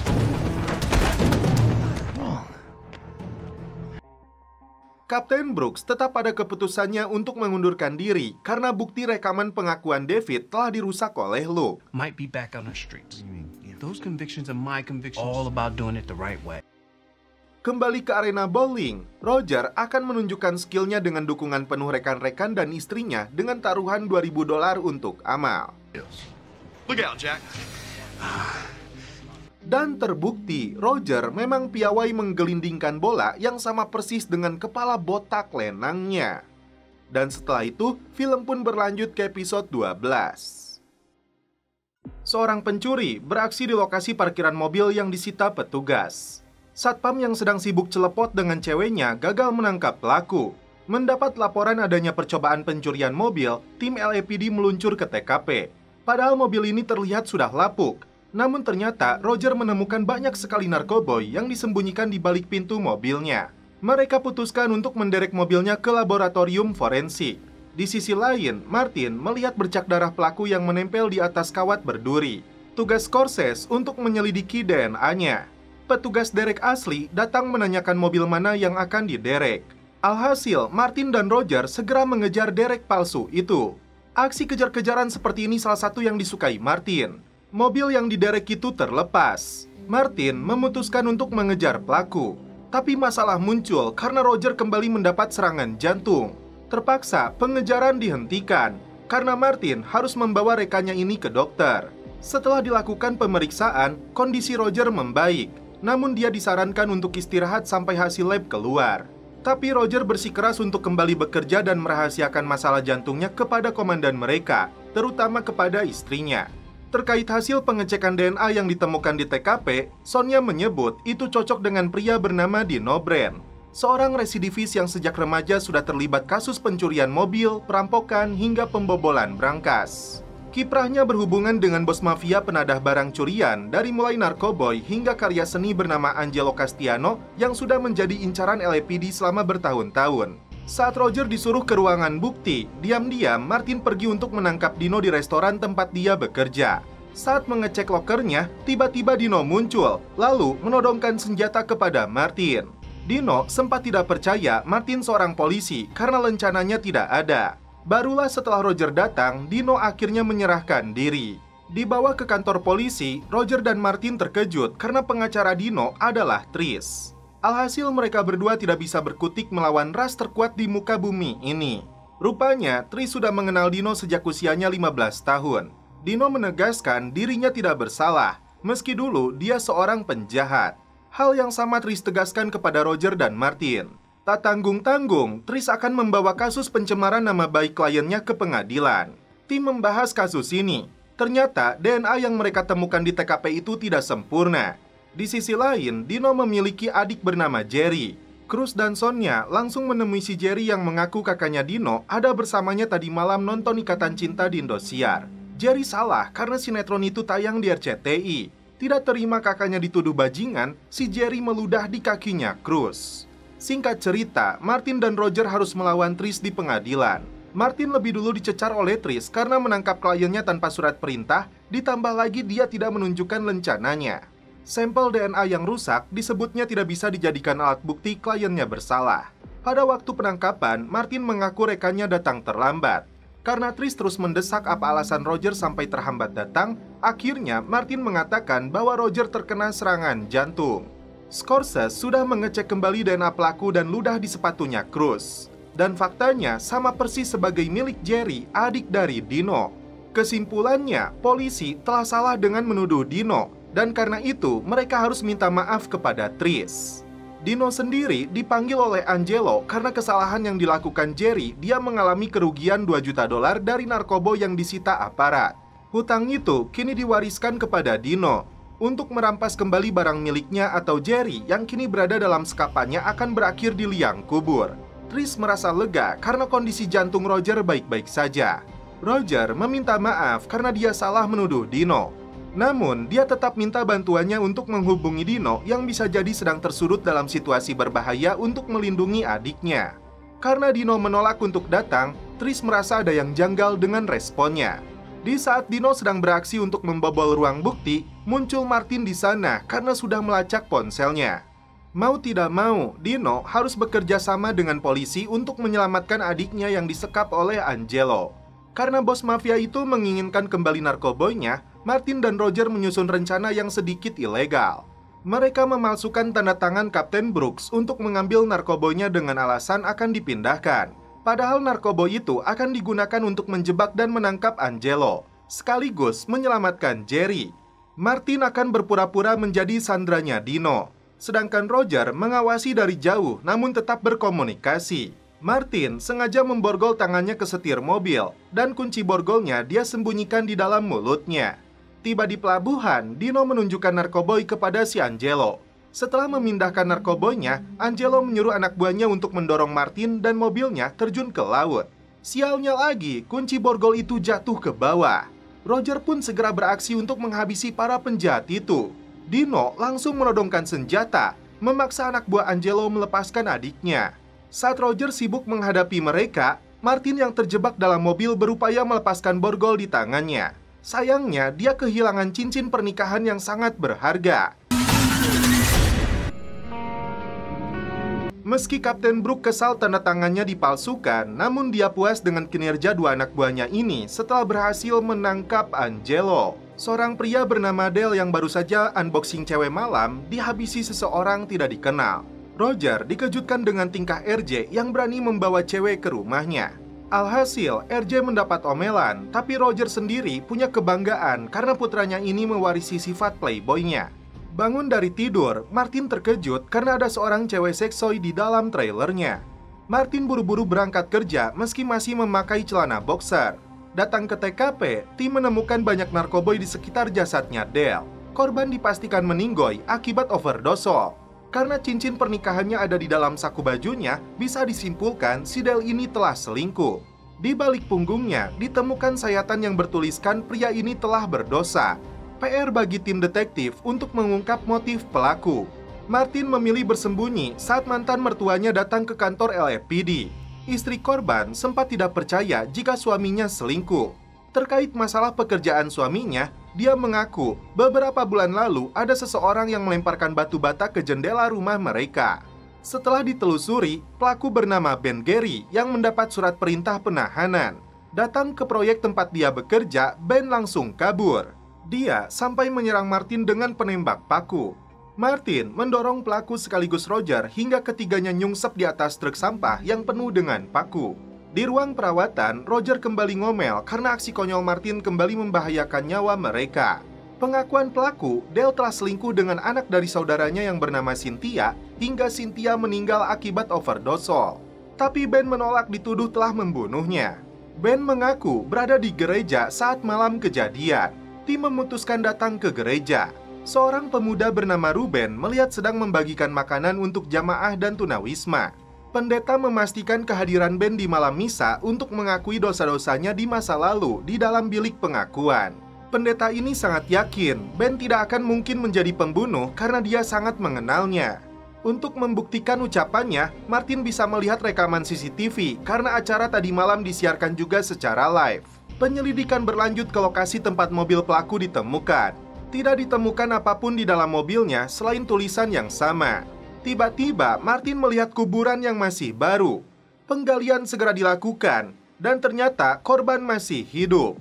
Meski istrinya sudah meninggal, Martin merasa berdosa karena telah berselingkuh dengan wanita lain.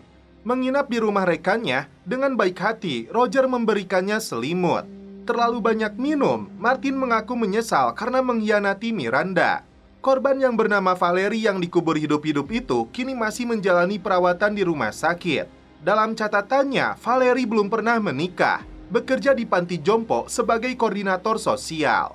Datang ke panti jompo, Cruz diberitahu si nenek penghuni panti jompo ini bahwa Valeri membunuh Edel untuk mendapatkan asuransi jiwanya dengan membekapnya pakai bantal. Dan ternyata Valeri jamaah gereja yang sama dengan Ben.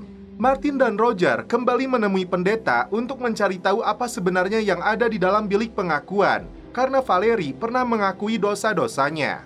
Setelah dilakukan penelusuran, Martin menemukan sebuah mic tersembunyi di dalamnya. Dan ternyata kabel mic itu terhubung sampai ke gudang persediaan tempat pegawainya yang bernama Ruben menyimpan makanan. Di sinilah semua bukti kejahatan Ruben terungkap. Ternyata Ruben dibesarkan di gereja tersebut setelah ibunya tewas oleh ayahnya sendiri yang seorang peminum berat. Diduga Ruben mengalami masalah mental dan psikologis dan kini pendeta sendiri yang menjadi korban kekejaman anak didiknya sendiri. Ruben membunuh para korbannya setelah dia mendengar pengakuan mereka yang datang ke gereja. Pendeta ini dianggap Ruben telah salah karena memaafkan ayahnya yang jelas-jelas telah membunuh ibunya. Tim segera meluncur ke apartemen tempat dulu orang tua Ruben tinggal. Martin dan Roger segera mendobrak pintu setelah mendengar suara si pendeta. Ruben dikejar oleh Martin agar menyerahkan dirinya. Namun, dia memilih untuk bunuh diri. Bergelantungan di atas pagar yang hampir patah, Roger berusaha menyelamatkan rekannya ini. Konyolnya, si Martin malah nonjok si Roger agar membiarkan dia terjun bebas. Keduanya terjatuh, dan untungnya nyungsep di atas pohon. Menemui sang mertua, Martin meminta melupakan dirinya, meski Roni punya niat baik untuk membantunya. Martin merasa bersyukur pernah menjadi bagian dari kebahagiaan keluarganya Roni. Dan setelah itu, film pun berlanjut ke episode 14. Seorang pria yang sedang menggunakan motor tiba-tiba dikejar sebuah mobil. Adu balapan pun terjadi. Pemotor tadi pun lolos, lalu dia berhenti di atas sebuah bukit untuk melihat pemandangan. Namun tiba-tiba mobil itu kembali untuk menabraknya hingga pria ini pun tewas. Kembali konsultasi dengan psikolog ini, Martin tidak sengaja melihat berkas Roger di dalam lacinya. Namun, Maureen menolak memberitahu masalah apa yang dikonsultasikan kepadanya. Singkat cerita, tim LAPD datang ke TKP tempat pria itu ditemukan di bawah jurang. Kali ini, Sonia menyuruh muridnya yang bernama Montero menjelaskan tentang temuan mayat tadi. Entah karena grogi atau apa, Montero tidak bisa bicara dengan baik. Selain kamera yang terdapat di helmnya, korban menggunakan Yamaha R1 yang sudah dilengkapi GPS. Tercatat alamat terakhir yang dikunjungi korban. Tak mau buang waktu, Martin dan Roger segera meluncur ke alamat tersebut. Dan ternyata ini rumah mewah milik Maureen. Tentu saja dua detektif ini terkejut bukan main. Korban yang diketahui bernama Sen Hawkins rupanya kekasih Maureen yang baru saja menjalani hubungan dengannya sebulan terakhir. Maureen sempat tidak percaya jika Sen tewas dibunuh. Namun dia tidak tahu apa motif pelaku atau masalah yang sedang dihadapi oleh Sen. Meski dirinya cukup terpukul, Maureen tetap bekerja seperti biasanya. Sonia memperlihatkan rekaman yang dia dapatkan dari helm korban. Di situ, tim bisa melihat jenis dan plat mobil milik pelaku, termasuk saat korban ditabrak hingga tewas. Giliran Martin yang merasa iba dan kasihan kepada Maureen karena ditinggalkan orang yang dicintainya. Berbekal plat nomornya, tim bergerak cepat ke lokasi ditemukannya mobil pelaku. Tidak ada siapa pun yang mereka temukan di sana, kecuali teropong yang ternyata mengarah ke rumahnya Maureen. Martin mengambil kesimpulan bahwa Maureen yang menjadi target pelaku. Di waktu yang sama, Maureen mendapat kiriman bunga dan sebuah pesan yang bertuliskan, "Aku sedang memperhatikan dirimu." Untuk memastikan apa yang sebenarnya terjadi, Kapten Brook meminta bantuan Dr. Levinson untuk menyelidiki daftar pasiennya Maureen yang berpotensi jadi tersangka mereka. Kesimpulan sementara, ada seorang penguntit yang tidak suka Maureen dekat dengan orang lain. Salah seorang mantan pasien Maureen yang bernama Kevin sempat masuk penjara dan pernah mengancam akan membunuh Maureen. Namun, Maureen sendiri tidak percaya. Tapi Kapten Brook akan tetap mengirim Martin dan Roger untuk menyelidiki terduga. Mereka terkejut karena pria ini masuk kategori kerdil yang diragukan mampu membunuh. Disinggung tentang Dr. Maureen, umpatan ancaman kembali dilontarkan si Kevin. Saat akan ditangkap, dua detektif dibuat kesulitan dengan tingkahnya yang sangat-sangat agresif.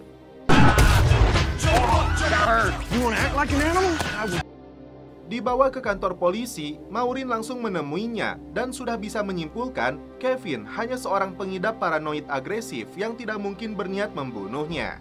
Martin mengantarkan Maureen ke rumahnya.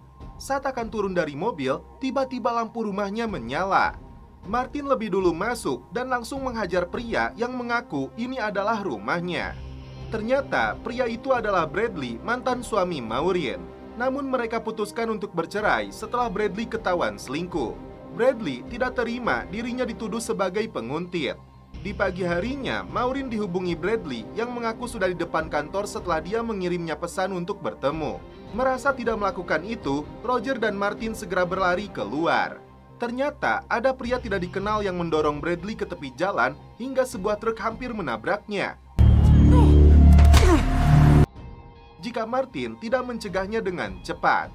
Tim belum berhasil mendeteksi pelaku yang mendorong Bradley.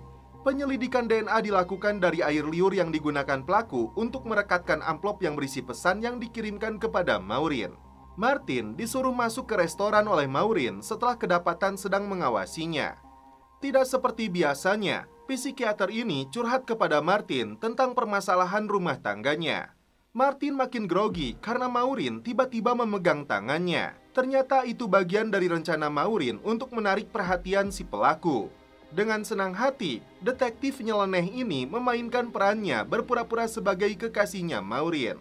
Ternyata benar, si penguntit sedang mengawasi mereka. Martin selanjutnya mengantar Maureen pulang ke rumahnya. Giliran Roger yang mengawasi Maureen, sedangkan Martin pergi berharap penguntit itu akan mengejarnya. Ternyata tiga tahun lalu, saat Roger dan Kapten Brooks menggerebek pengedar narkoboy, saat itu Brooks sudah memberi kode dengan menepuk jari tangannya ke bahu untuk menembak tersangka, namun Roger malah terdiam. Kejadian itu mengakibatkan korban jiwa, sebuah penyesalan dalam hidupnya, dan karena itu dia konsultasi kepada Maureen. Hasil penelitian DNA ternyata air liur dari amplop itu milik Dr. Levinson. Di waktu yang sama, psikiater senior itu datang ke rumah Maureen. Menyadari Maureen sedang terancam, Martin segera balik kanan. Roger segera menghubungi Maureen untuk pergi dari sana. Namun Levinson mencegahnya. Tiba-tiba, si Montero muncul melepaskan tembakan yang mengarah ke Dr. Levinson. Terungkap bahwa Montero adalah pasiennya Maureen yang menaruh hati kepadanya. Opsir yang mengidap penyakit psikologis karena ditinggal istrinya ini membocorkan gas LPG di ruangan tersebut mengancam Martin dan Maureen. Tak tinggal diam, Roger keluarkan snipernya untuk membidik Montero. Setelah Martin memberi kode, Roger melepaskan tembakan yang mengenai tangannya si Montero.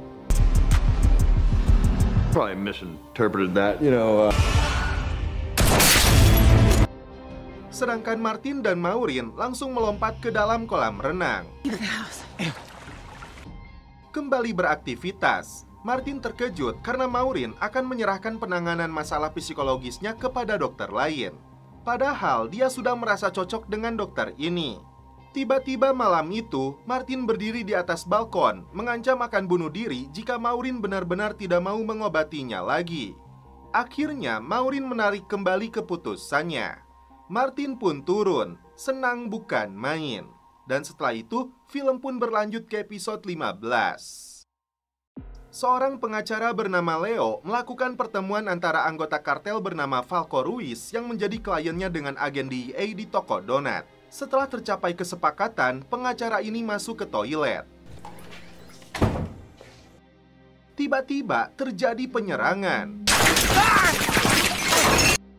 anggota kartel dan agen DEA itu dipastikan tewas. Tim LAPD bergerak cepat datang ke TKP.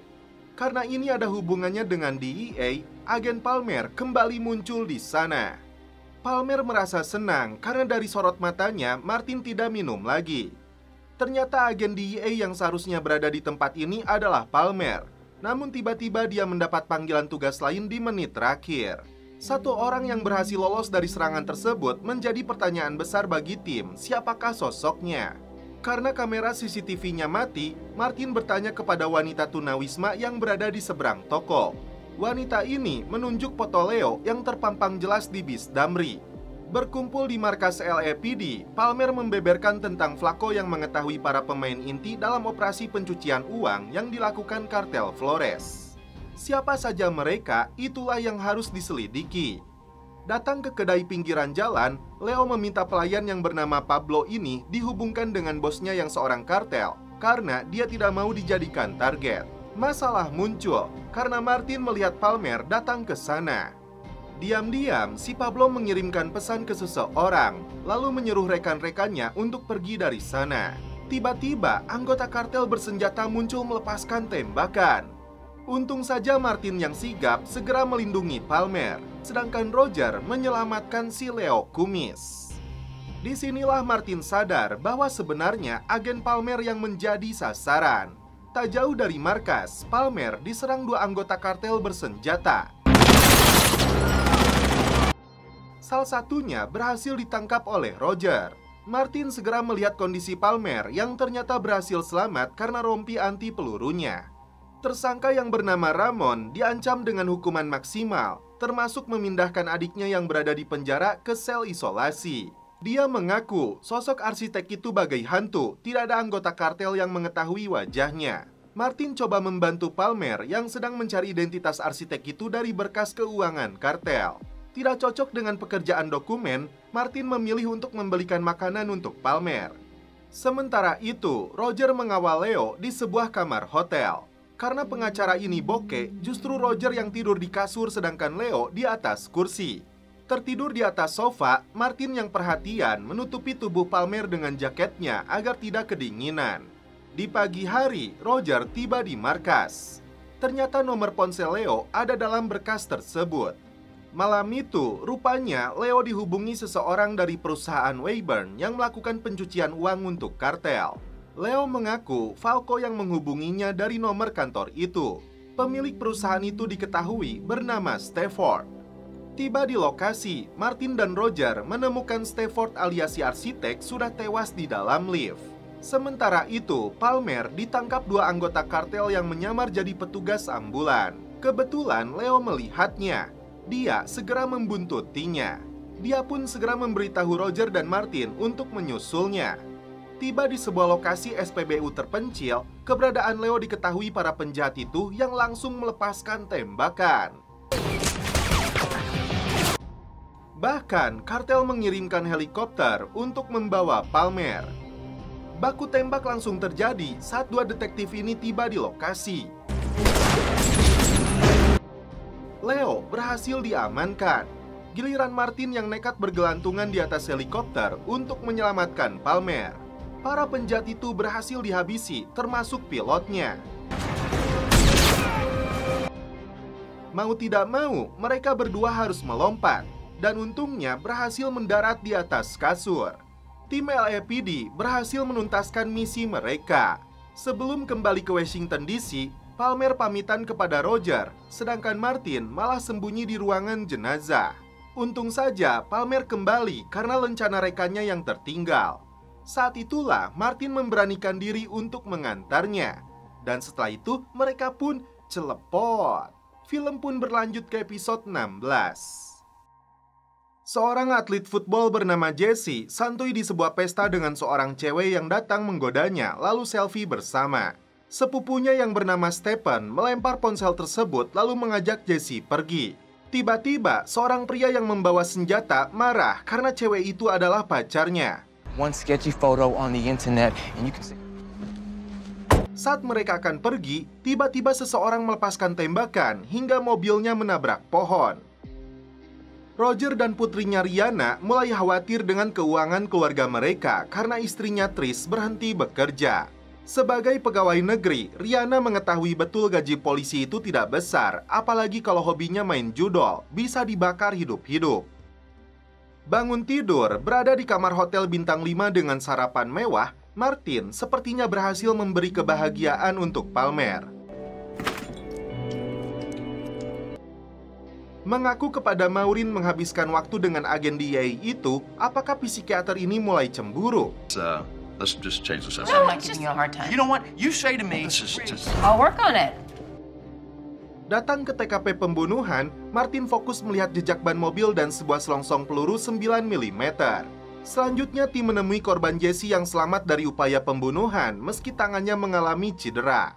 Tak berselang lama, datanglah presiden klub footballnya Jesse yang bernama Walter. Karena Jesse terkena peluru juga di bagian sendinya, menurut Martin, anak itu tidak akan bisa bermain football lagi.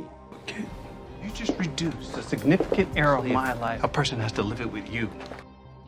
Meski wajahnya tidak tersorot kamera CCTV, Roger mendapat petunjuk pria ini seorang mahasiswa. How long can I work here? let's do it. Are you kidding me? He loves it.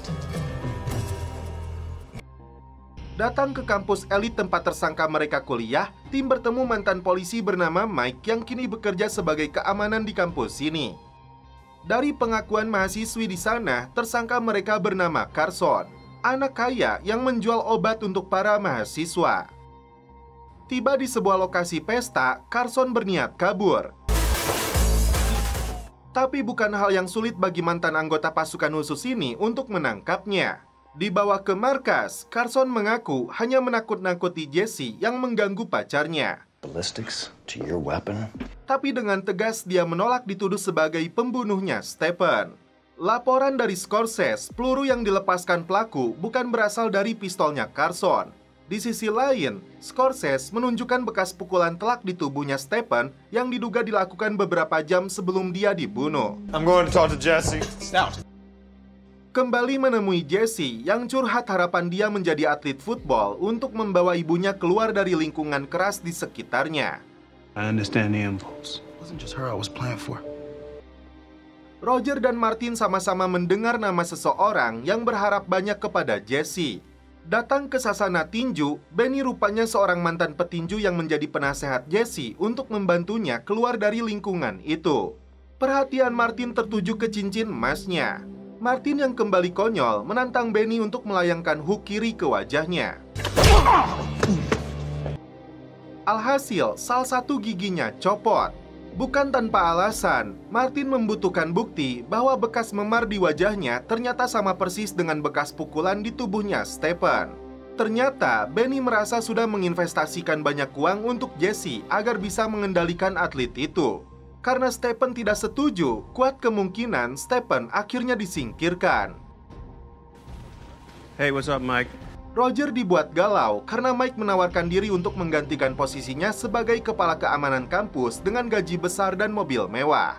Tris nampaknya tidak setuju, berbeda dengan putrinya yang mendesak Roger untuk segera mengambilnya. Martin galau karena Palmer mengajaknya kembali kencan malah membenturkan kepalanya ke kaca cermin.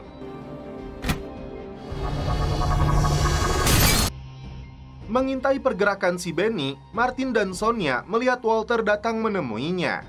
Setelah itu, Walter pergi ke restoran dan ternyata untuk menemui Roger yang tertarik untuk menjadi kepala keamanan kampus. Martin langsung mengganggu obrolan mereka. Setelah dia pergi, Martin membeberkan kecurigaannya kepada Walter karena dia menemui Benny. Why would he want to meet with Benny? Should look at the entrees? Maybe it's something to go. Martin kembali menemui Walter, menuduhnya menyuruh Benny untuk membunuh Stephen. Walter beralasan dirinya hanya minta Benny membujuk Stephen, tidak membunuhnya. Dia menegaskan uang yang dikirim melalui Benny untuk keluarganya Jesse. Hurt anyone over a recruit. Stay the hell away from my partner. Sementara itu, Roger mendesak ibunya Jesse untuk mengatakan dari mana dia mendapatkan banyak uang. Padahal Martin sudah mengetahuinya. Melihat jejak ban mobil yang sama di depan rumah Jesse, tim bertanya ke si bocah, dan ternyata itu mobil milik gangster penguasa wilayah ini yang bernama Wendell. Jesse pun kecewa karena ibunya main terima uang yang berakibat Stephen tewas. Jesse langsung menemui si Wendell dan krunya yang menjadi eksekutor pembunuhan Stephen. Tapi Jesse bukan lawan mereka. Dia dibawa ke dalam kampus. Karena Mike kebetulan melihat mobil pelaku, dia segera memberitahu tim LAPD. Wendell berencana untuk mengatur seolah-olah Jesse bunuh diri di lapang football karena mimpi-mimpinya telah hancur. Tiba di lokasi, Martin dan Roger segera beraksi setelah mendengar suara tembakan. Rupanya Jesse berupaya kabur dari kejaran para gangster. Satu persatu para penjahat itu dilumpuhkan.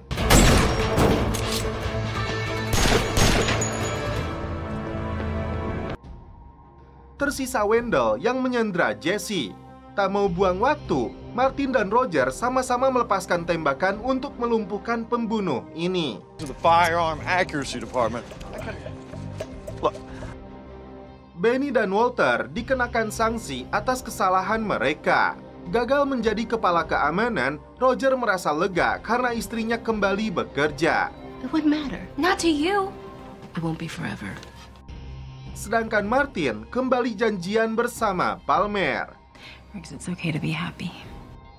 Dan setelah itu, film pun berlanjut ke episode 17. Seorang wanita yang sedang membawa bayinya dikejutkan dengan kemunculan anggota kartel yang mengancam mereka. Tak tinggal diam, wanita itu langsung menembaknya. Kali ini, Martin bangun tidur jauh lebih segar karena ada bidadari DEA di sampingnya. Sama-sama akan beraktivitas di lembaganya masing-masing. Keluar dari hotel, Martin sempat melihat Palmer menemui pria bedegul dengan banyak tato.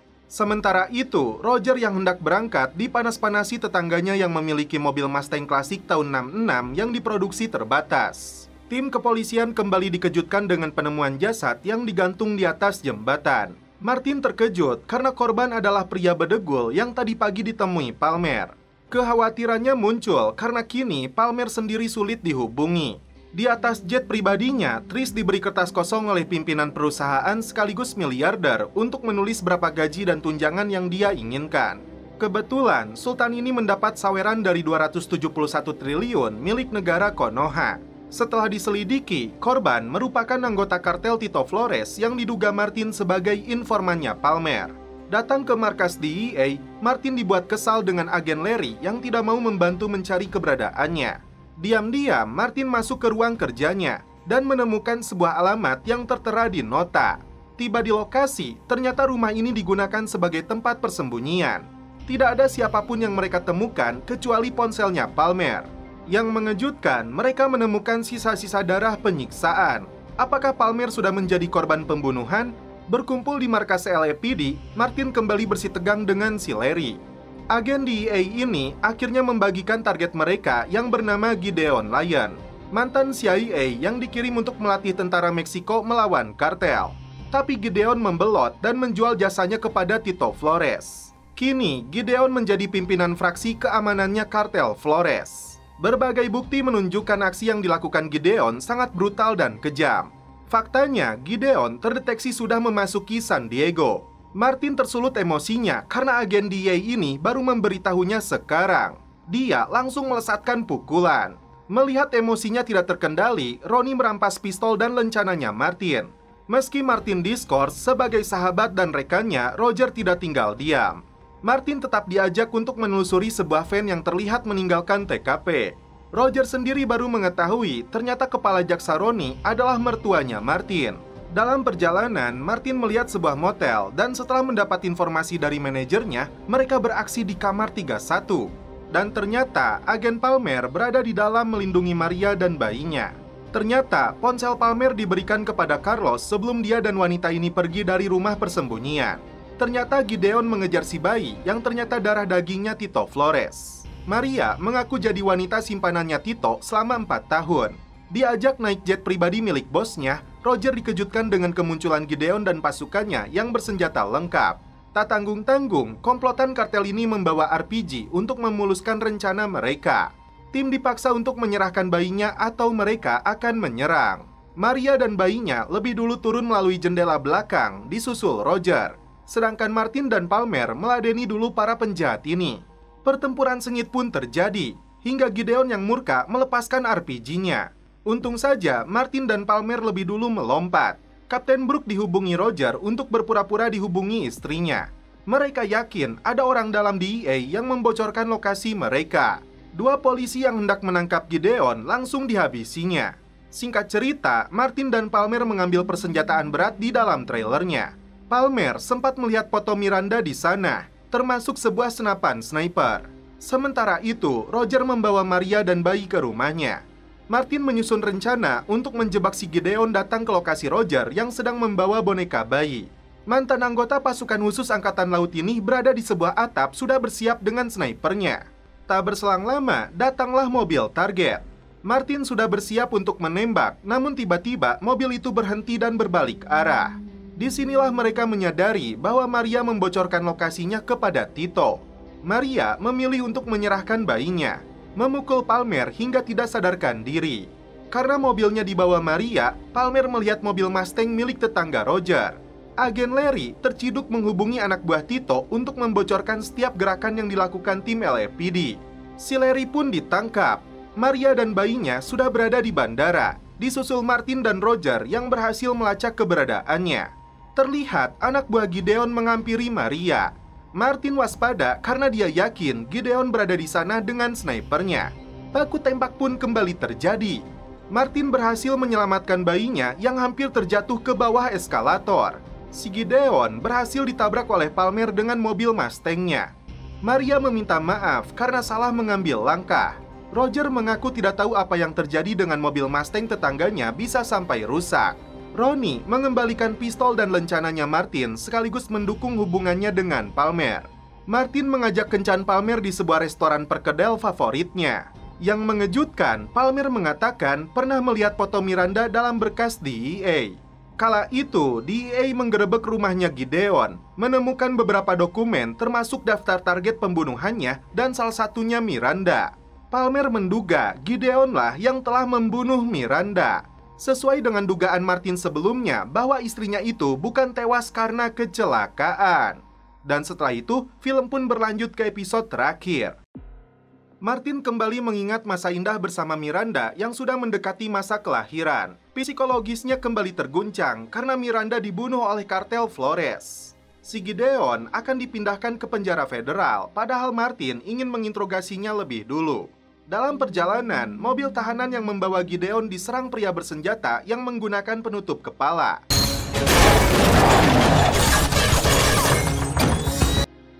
Namun ternyata Martin pelakunya.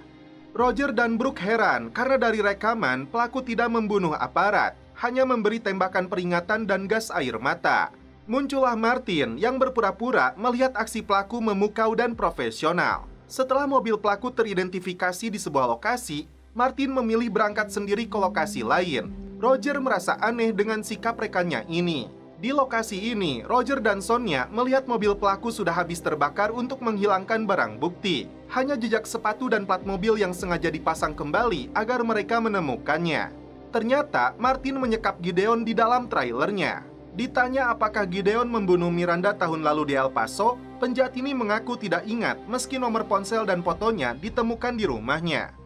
Meski sudah melihat foto Miranda yang dipajang di sana, Gideon tetap bungkam. Martin yang mulai marah mencocoki mulutnya dengan obat. Tiba-tiba Roger datang ke sana, ingin masuk ke dalam trailer, namun Martin mencegahnya. Roger ingin memberitahu rekannya ini bahwa dia menduga ada orang dalam yang menculik Gideon. Saat Martin masuk, Roger mulai curiga karena melihat jejak sepatunya persis seperti yang dia lihat di TKP. Dia lihat ke dalam trailernya, namun tidak ada siapa pun di sana karena ternyata Gideon disembunyikan di dalam toilet. Dibawa ke sebuah kabin, Gideon mempengaruhi mantan anggota pasukan khusus ini yang tidak berani menyiksanya. Dia dianggap sebagai polisi lemah yang tidak punya keberanian, takut kepada dirinya sendiri. Tapi Gideon salah karena Martin langsung memukul tangannya dengan kapak. Karena Martin tidak kunjung datang ke markas, Roger meminta Sonia melacak ponselnya. Lokasinya diketahui cukup jauh di dekat Cedar Grooveland. Ternyata kabin ini sudah dipesan Tris untuk liburan Roger dan anaknya. Mantan agen CIA ini kembali mempermainkan Martin. Dia mengetahui Miranda tewas akibat ditabrak truk. Bahkan dia mengaku berada di sana memastikan kematiannya. Martin yang tersulut emosinya memberinya pelajaran. Bahkan hendak menembak kepalanya. Tiba-tiba Roger menemukan Martin di sana. Meski dia telah membunuh Miranda, Roger tidak mau Martin menjadi polisi kotor yang menyalahi hukum.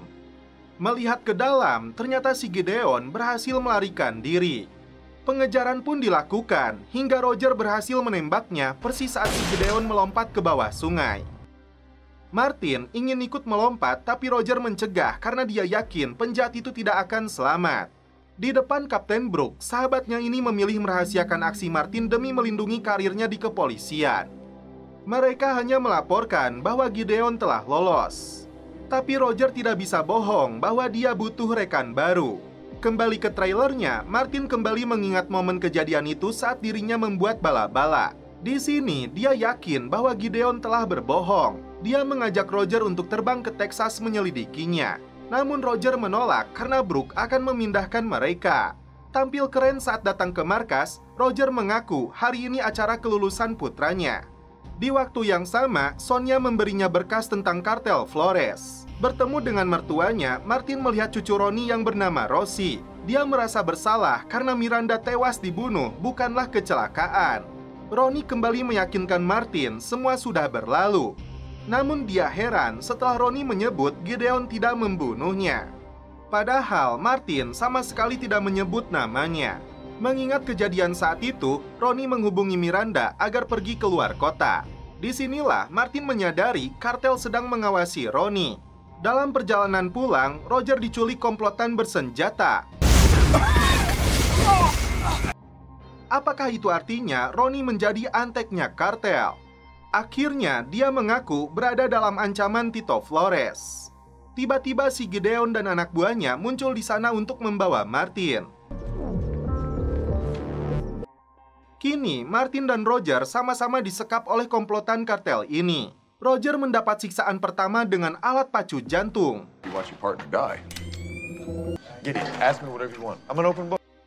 Tak tinggal diam, Martin berupaya memotong tali yang mengikat tangannya. Mereka dipaksa bicara siapa saja yang tahu tentang pengkhianatan yang dilakukan Roni. Di sinilah Martin kembali beraksi untuk membalas kematian istrinya. Breathing. The end. Tinggal si Gideon dan satu anak buahnya yang kabur. Roger berhasil membunuhnya. Sementara itu, Martin dan Gideon terlibat baku hantam hingga sebuah kereta melintas di depan mereka. Tito Flores. Namun akhirnya Martin berhasil selamat. Roger tiba di tempat kelulusan anaknya meski tanpa sepatu. sedangkan Martin tidak diketahui keberadaannya. Roni sendiri ditangkap karena menjadi anteknya kartel. Go! Martin kini berada di Meksiko untuk menuntaskan balas dendamnya kepada Tito. Apakah rencana Martin berhasil?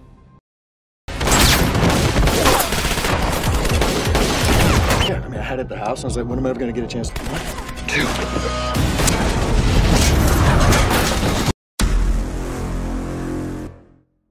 Latar belakang di Meksiko dua minggu sebelumnya, bos kartel Flores yang bernama Tito Flores datang ke sebuah hotel dengan pengawalan ketat anak buahnya. Aktivitasnya diawasi oleh detektif LAPD bernama Roger yang sengaja datang ke Meksiko untuk mencari rekannya Martin Riggs.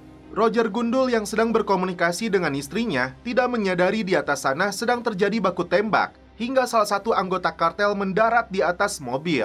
Rupanya di salah satu kamar hotel, Martin sudah berhasil menangkap Tito Flores, bos kartel sekaligus otak pembunuhan istrinya. Mantan anggota pasukan khusus ini sengaja datang ke Meksiko untuk menuntut balas. Naik ke atas, Roger melihat beberapa pengawal Tito sudah tidak bernyawa. Saat Martin akan membunuhnya, Roger lebih dulu masuk mencegahnya. Karena dia tidak mau karir dan hidup rekannya ini hancur gara-gara membunuh penjahat ini. Hanya karena Roger mengatakan I love you, telinga Martin gatal lalu membatalkan rencananya.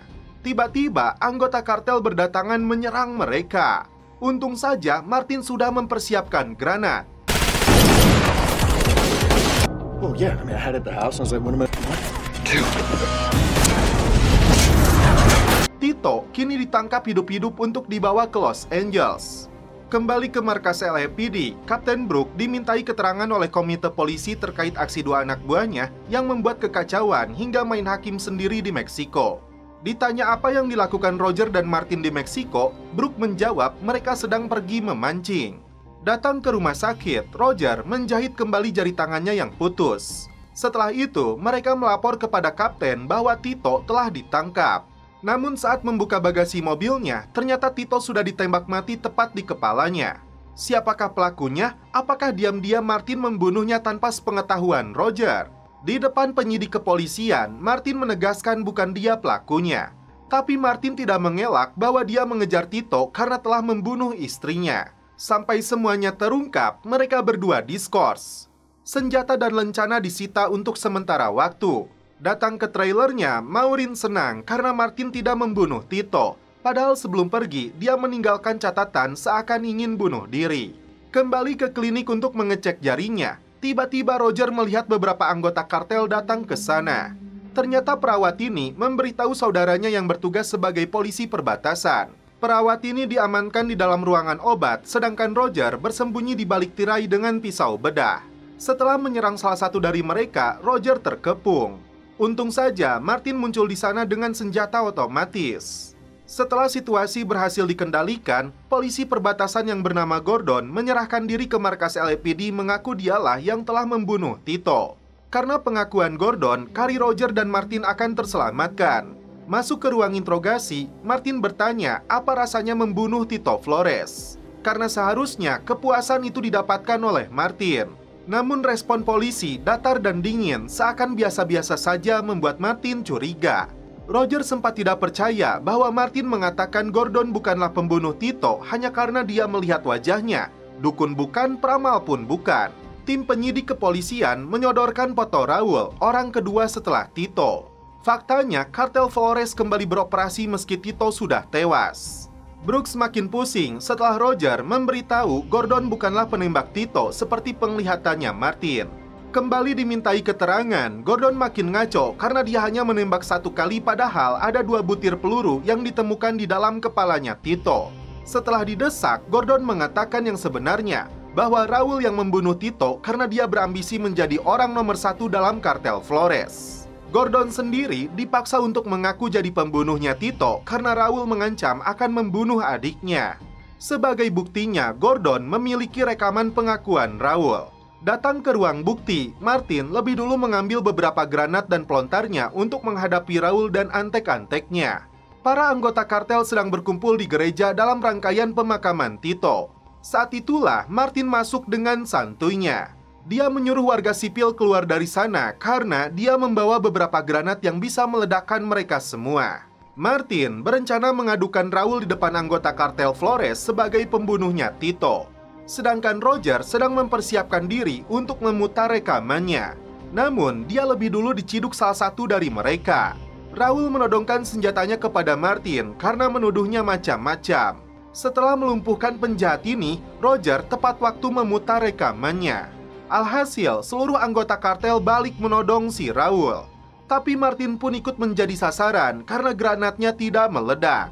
Raul meminta bantuan mantan anggota pasukan khusus ini agar dirinya selamat. Roger kembali datang menyelamatkan mereka. Sedikit hiburan dari Martin dengan pelontar granat sebelum mereka kembali ke markas. Akhirnya, lencana dan pistol kembali diberikan kepada dua detektif khusus ini. Martin datang ke makam istrinya karena dendamnya sudah terbalaskan, berharap istrinya tenang di sana. Dan setelah itu, film pun berlanjut ke episode 2. Merasa ingin jadi manusia yang jauh lebih normal dan penuh semangat, Martin datang lebih pagi sampai dokter Maureen heran dibuatnya. Maureen memberi masukan agar Martin punya teman kencan. Rupanya dia masih menyimpan kartu namanya agen Palmer, namun tidak berani menghubunginya. Tim LAPD datang ke sebuah apartemen tempat jasad dokter bedah plastik ditemukan tewas. Karena menemukan banyak narkoboy di sana, Martin mencari alasan untuk memanggil DEA. Melihat punggung Roger bermasalah, Martin sedikit memberinya tips keretek abal-abal. Markas pusat menempatkan wakil kepala Santos untuk mengevaluasi departemen ini karena aksi brutal dan konyol yang sering dilakukan Martin dan Roger. Hasil penyelidikan forensik, Dr. Harris tewas karena disuntik dengan potasium klorida. Sesuai instruksi wakil kepala Santos, mereka berdua harus memakai kamera tubuh selama bertugas di lapangan. Singkat cerita, dua detektif datang ke klinik perawatan skincare tempat korban bekerja. Roger sempat tertarik dengan penawaran dokter ini untuk permak ulang wajahnya. Selain melihat wanita berkacamata hitam, mereka melihat dua orang mencurigakan masuk ke sebuah ruangan. Pengejaran dilakukan karena dua orang itu langsung kabur saat terciduk mengecek berkas klinik ini. Roger sempat kewalahan untuk melumpuhkan salah satunya yang akhirnya tewas setelah kepalanya terbentur tangga sedangkan Martin kehilangan buruannya. Setelah mendapat persetujuan dari Santos, akhirnya Martin bisa menemui Palmer untuk membantu penyelidikan kasus tewasnya dokter itu. Agen DEA ini cukup terkejut sekaligus senang bisa bertemu kembali dengan Martin. Namun setelah Palmer membocorkan informasi tentang kematian Miranda kepada Martin, agen DEA ini diskors jadi agen yang bertugas di belakang meja. Palmer sempat menolak karena ini kasus kecil yang tidak perlu bantuan DEA. Setelah Martin pergi, Palmer terkejut setelah melihat wajah pelaku dalam rekaman yang diberikan Martin. Ditelusuri dari dokumen kepolisian, ternyata dua orang yang dicurigai membunuh dokter bedah plastik itu sebagai anggota mafia Rusia. Saat itu juga, Martin dan Kapten Brooks kembali ke klinik. Rupanya di lokasi, Roger sedang menjalani perawatan skincare. Martin dan Brooks dikejutkan saat menemukan Dr. Weller di sekap. Pelakunya sendiri kabur melalui jendela. Tiba-tiba, Palmer sudah berada di sana menangkap pelaku yang bernama Sergei lalu membawanya ke markas DEA. Martin berhasil membujuk Palmer yang mengatakan pelaku yang ditangkapnya itu mengaku bekerja untuk bos mafia Rusia bernama Christian Orlov. Kesimpulan sementara, mafia Rusia itu sedang mencari pasien. Dari puluhan pasiennya, Bailey mendapat satu nama pasien bernama Sarah Byrne karena pembayaran dilakukan tunai untuk menghindari mafia. Dan inilah bos mafia Christian yang berada di atas kapal pesiarnya. Ternyata Sarah diburu karena bisa membahayakan seluruh operasi mereka. Tim datang ke apotek tempat Sarah menebus obatnya. Tak berselang lama, datang Palmer mencari informasi yang serupa. Tiba-tiba, Sarah muncul di sana dengan kacamata hitamnya. Dibawa ke markas, Sarah sengaja melakukan operasi plastik di wajah untuk menyembunyikan identitasnya yang terus diburu mafia itu. Ternyata ini terkait dengan penyelundupan produk obat-obatan tidak bermerek dari Cina. Palmer dan Martin terkejut setelah Sarah mengaku telah membunuh Dr. Harris. Ternyata Sarah sempat diancam dan diperasi dokter dengan memberitahu keberadaannya kepada mafia. Karena itu, Sarah menyuntiknya dengan obat berbahaya penghenti jantung. Palmer berencana untuk menyamar jadi Sarah dalam operasi penangkapan bos sindikat mafia itu. Singkat cerita, Palmer sudah tampil gelis berjalan menuju kapal pesiar target. Sedangkan tim LAPD sudah standby tidak jauh dari lokasi. Martin tidak bisa memungkiri kekhawatirannya karena penyamaran Palmer bisa membahayakan nyawanya. Christian sempat menguji Palmer dengan pertanyaan jebakan, dan untungnya Palmer berhasil menjawab pertanyaannya dengan baik. Palmer berpura-pura minta imbalan 1 juta dolar agar operasi penyelundupan narkoboynya tetap aman. Christian setuju, namun Palmer harus mengenakan dulu baju renang yang sudah dia persiapkan. Ternyata mereka sudah tahu di dalam bajunya Palmer ada penyadap. Martin pun segera beraksi sebelum Palmer dibunuh. So are we. Hey.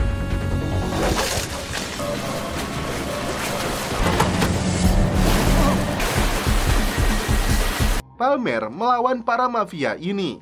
Sementara itu, Roger melepaskan tembakan ke arah si kapten kapal.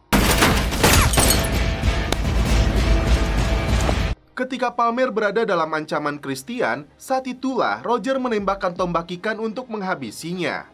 Tim berhasil menuntaskan kasus ini. Sejak kejadian itu, hubungan Martin dan Palmer kembali berlanjut. Seorang biduan bernama saya yang sedang indehoy bersama pacarnya di dalam mobil, tiba-tiba ditabrak seorang tidak dikenal hingga mobilnya terjun ke bawah jurang. Tiba di TKP, tim mendapat informasi bahwa pengawalnya saya tewas saat kejadian. Di waktu yang sama, detektif muda bernama Bowman ditugaskan untuk pertama kalinya dengan tim. Dia disukai oleh Martin dan Sonia, namun tidak dengan Roger. Datang ke rumah sang biduan pop, saya mengelak sedang diantar pulang ke rumah oleh pengawalnya. Tak berselang lama, datang manajernya yang bernama Philip.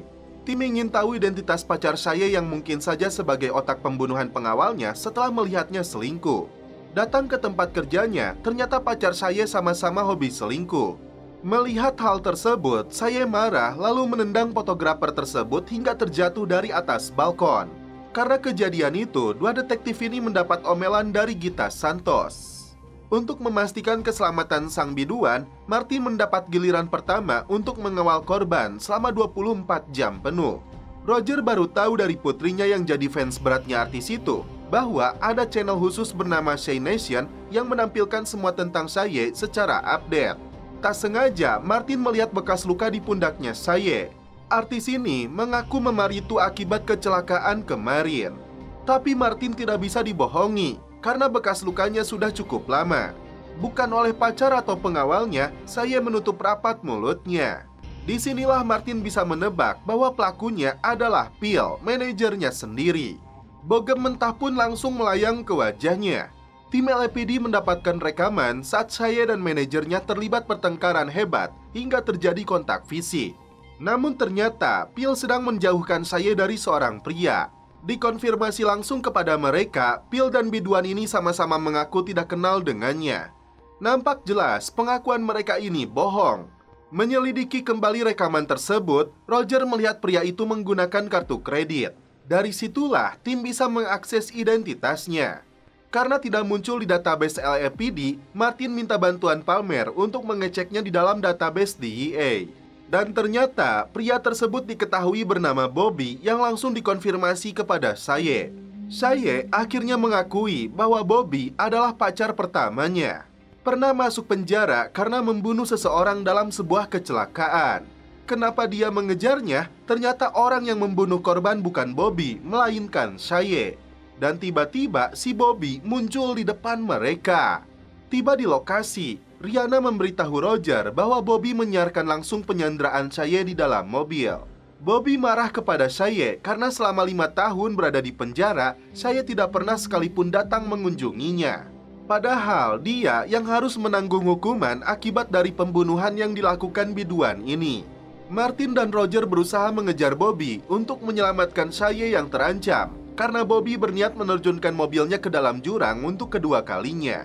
Untung saja Martin bertindak cepat untuk menyelamatkannya. Tersangka berhasil dilumpuhkan, sementara Roger menyelamatkan Shaye. Tersisa Phil yang masih berada di dalam bagasi. Sebelum menyelamatkannya, Phil mengakui kesalahannya telah menyakiti Shaye. Tak hanya si Bobby, saya sendiri harus mempertanggungjawabkan perbuatannya. Di atas sebuah pesawat yang sedang terbang, seorang pria bernama Cooper tiba-tiba mengacungkan pistol memaksa para penumpangnya menyerahkan barang berharga milik mereka, termasuk sebuah koper yang dipegang oleh salah satu penumpang. Pramugari yang bernama Nora sempat mengingatkan perampok ini bahwa polisi sudah menunggunya di landasan. Ternyata pelaku sudah menyiapkan parasut, tapi aksinya sempat dihalangi oleh pemilik koper. Belum terungkap apa barang berharga yang ada di dalamnya sampai pistol meletus dan keduanya terjun. Kembali ke Martin yang sedang menjual barang-barang lamanya. Ternyata ada senapan peninggalan kakeknya yang diwariskan kepada ayahnya lalu diberikan kepada Martin. Martin kecil mengingat kembali saat ayahnya mengajarkan dia untuk menembak pertama kalinya. Datang ke TKP, Martin dan Roger heran kenapa pelaku bisa membawa senjata api ke dalam pesawat. Nora beralasan karena ini jet pribadi, orang kaya mah bebas. Nora mengaku tidak kenal dengan perampok itu.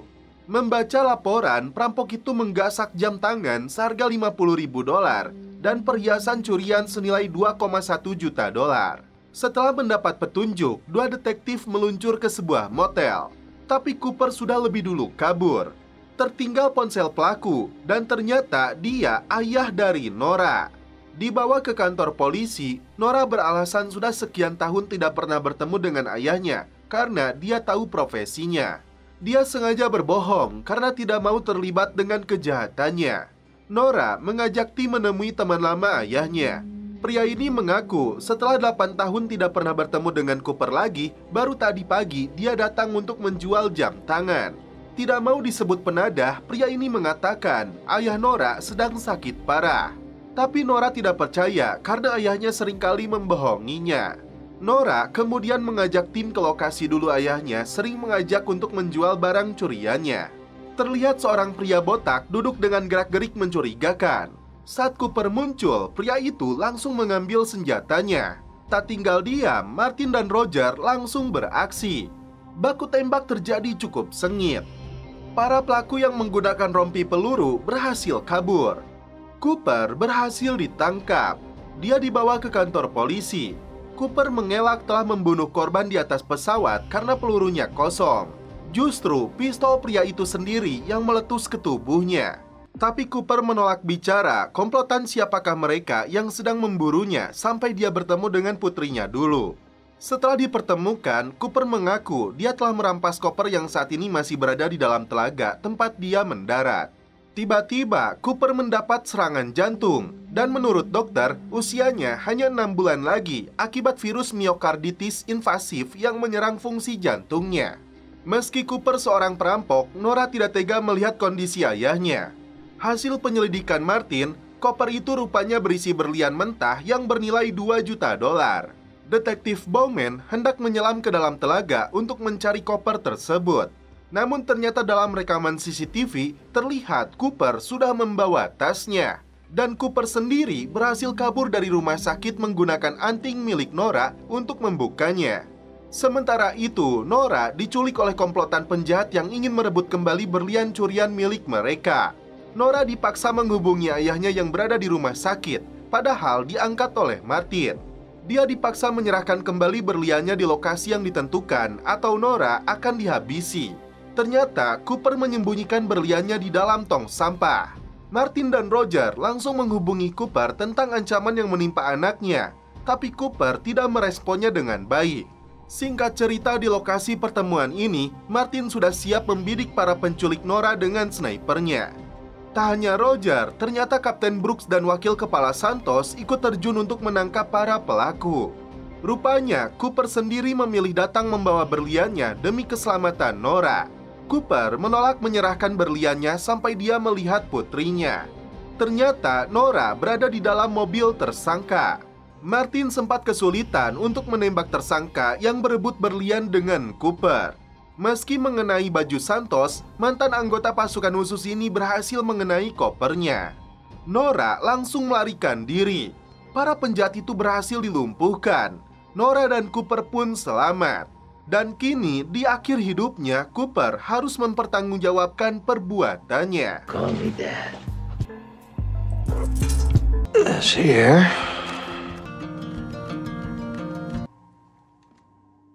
Dan setelah itu, film pun berlanjut ke episode 5.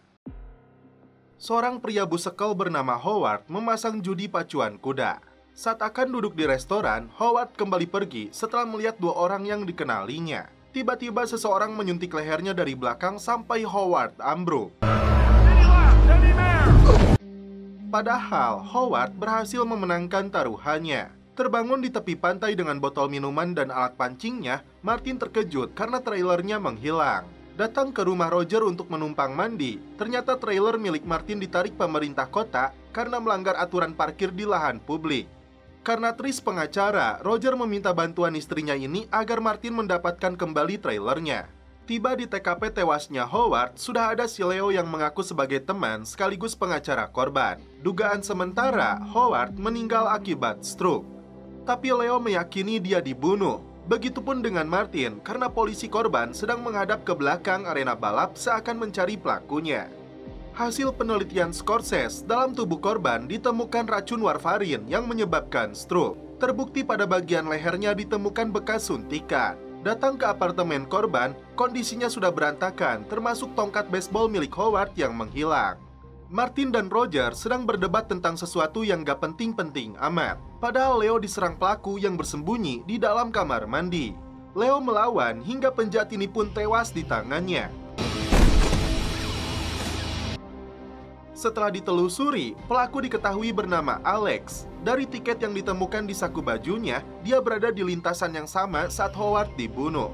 Faktanya, Alex orang suruhan dari rentenir bernama Guzman. Apakah Howard punya hutang kepadanya? Tim berencana meluncur ke toko tato milik Guzman. Martin mengingat kembali saat ayahnya mengajaknya berpindah-pindah tempat, termasuk membobol kembali rumah ayahnya yang sudah disita. Roger sudah berbaik hati menawarkan Martin tidur di rumahnya, namun dia menolak. Datang ke toko tatonya Guzman, Martin menemukan tongkat baseball milik Howard termasuk beberapa senjata api ilegal. Karena mereka melawan, Martin ngamuk hingga emosinya tidak terkendali.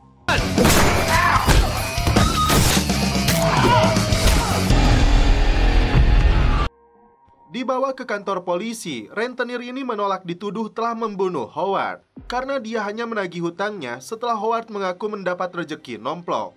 Rejeki nomplok dari mana yang Howard akan dapatkan itulah yang harus tim selidiki.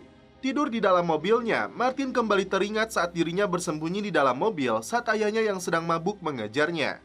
Penggeledahan kembali dilakukan di apartemennya Howard.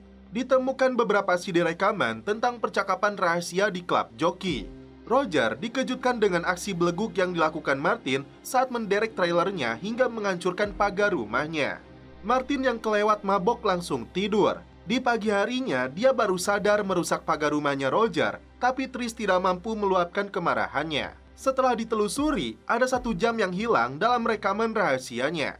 Leo tunjukkan beberapa temannya Howard yang hadir di klub joki. Ternyata empat orang ini para residivis berbagai kejahatan dari mulai perampokan, bahan peledak hingga percobaan pembunuhan. Kembali ke klub joki, Martin dan Roger menemukan jalan rahasia yang dibobol melalui toilet. Sementara itu, Leo ditangkap oleh tiga penjahat yang sedang melancarkan aksinya di tempat pacuan kuda. Tercatat 5 juta dolar uang taruhan yang terkumpul dalam lomba ini. Rupanya empat penjahat bersenjata itu sedang merampok seluruh uang yang dipertaruhkan. Inilah yang didengar oleh Howard dan karena itu dia minta jatah. Mendengar suara tembakan, Martin dan Roger kembali beraksi. Satu perampok berhasil dihabisi. Tersisa tiga lainnya yang mencoba kabur membawa hasil rampokannya. Salah satunya kembali dilumpuhkan. Pengejaran berlanjut sampai Martin berhasil menembak pelaku. Leo berhasil diselamatkan oleh aksinya Roger. Sebagai bentuk pertanggungjawaban, Martin memperbaiki pagar rumahnya Roger. Dan kini trailernya berada di dalam garasi rumah mereka. Dan setelah itu, film pun berlanjut ke episode 6. Kisah Martin kecil dan temannya Jack kembali diperlihatkan saat mereka terlibat aksi kejar-kejaran dengan polisi. Jika Martin tumbuh dewasa menjadi polisi, Jack dikenal sebagai residivis keluar masuk penjara sejak dia masih bocil. Sebagai detektif, Martin menjamin hakim untuk membebaskan Jack dari penjara dengan alasan Jack adalah informannya. Padahal, Martin ingin membalas kebaikan yang pernah Jack lakukan sejak mereka masih remaja. Martin sebenarnya ingin mengantar Jack, namun temannya yang bernama Kenny dengan wajah gangsternya datang menjemput. Inilah yang Martin tidak sukai, khawatir Jack jatuh ke lubang yang sama. Menemukan linting ganjo di dalam kulkas, Roger menuduh salah satu dari anaknya yang memiliki barang haram tersebut. Karena tidak satu pun dari mereka merasa memilikinya, Roger mencabut bulu irung keduanya untuk dilakukan tes.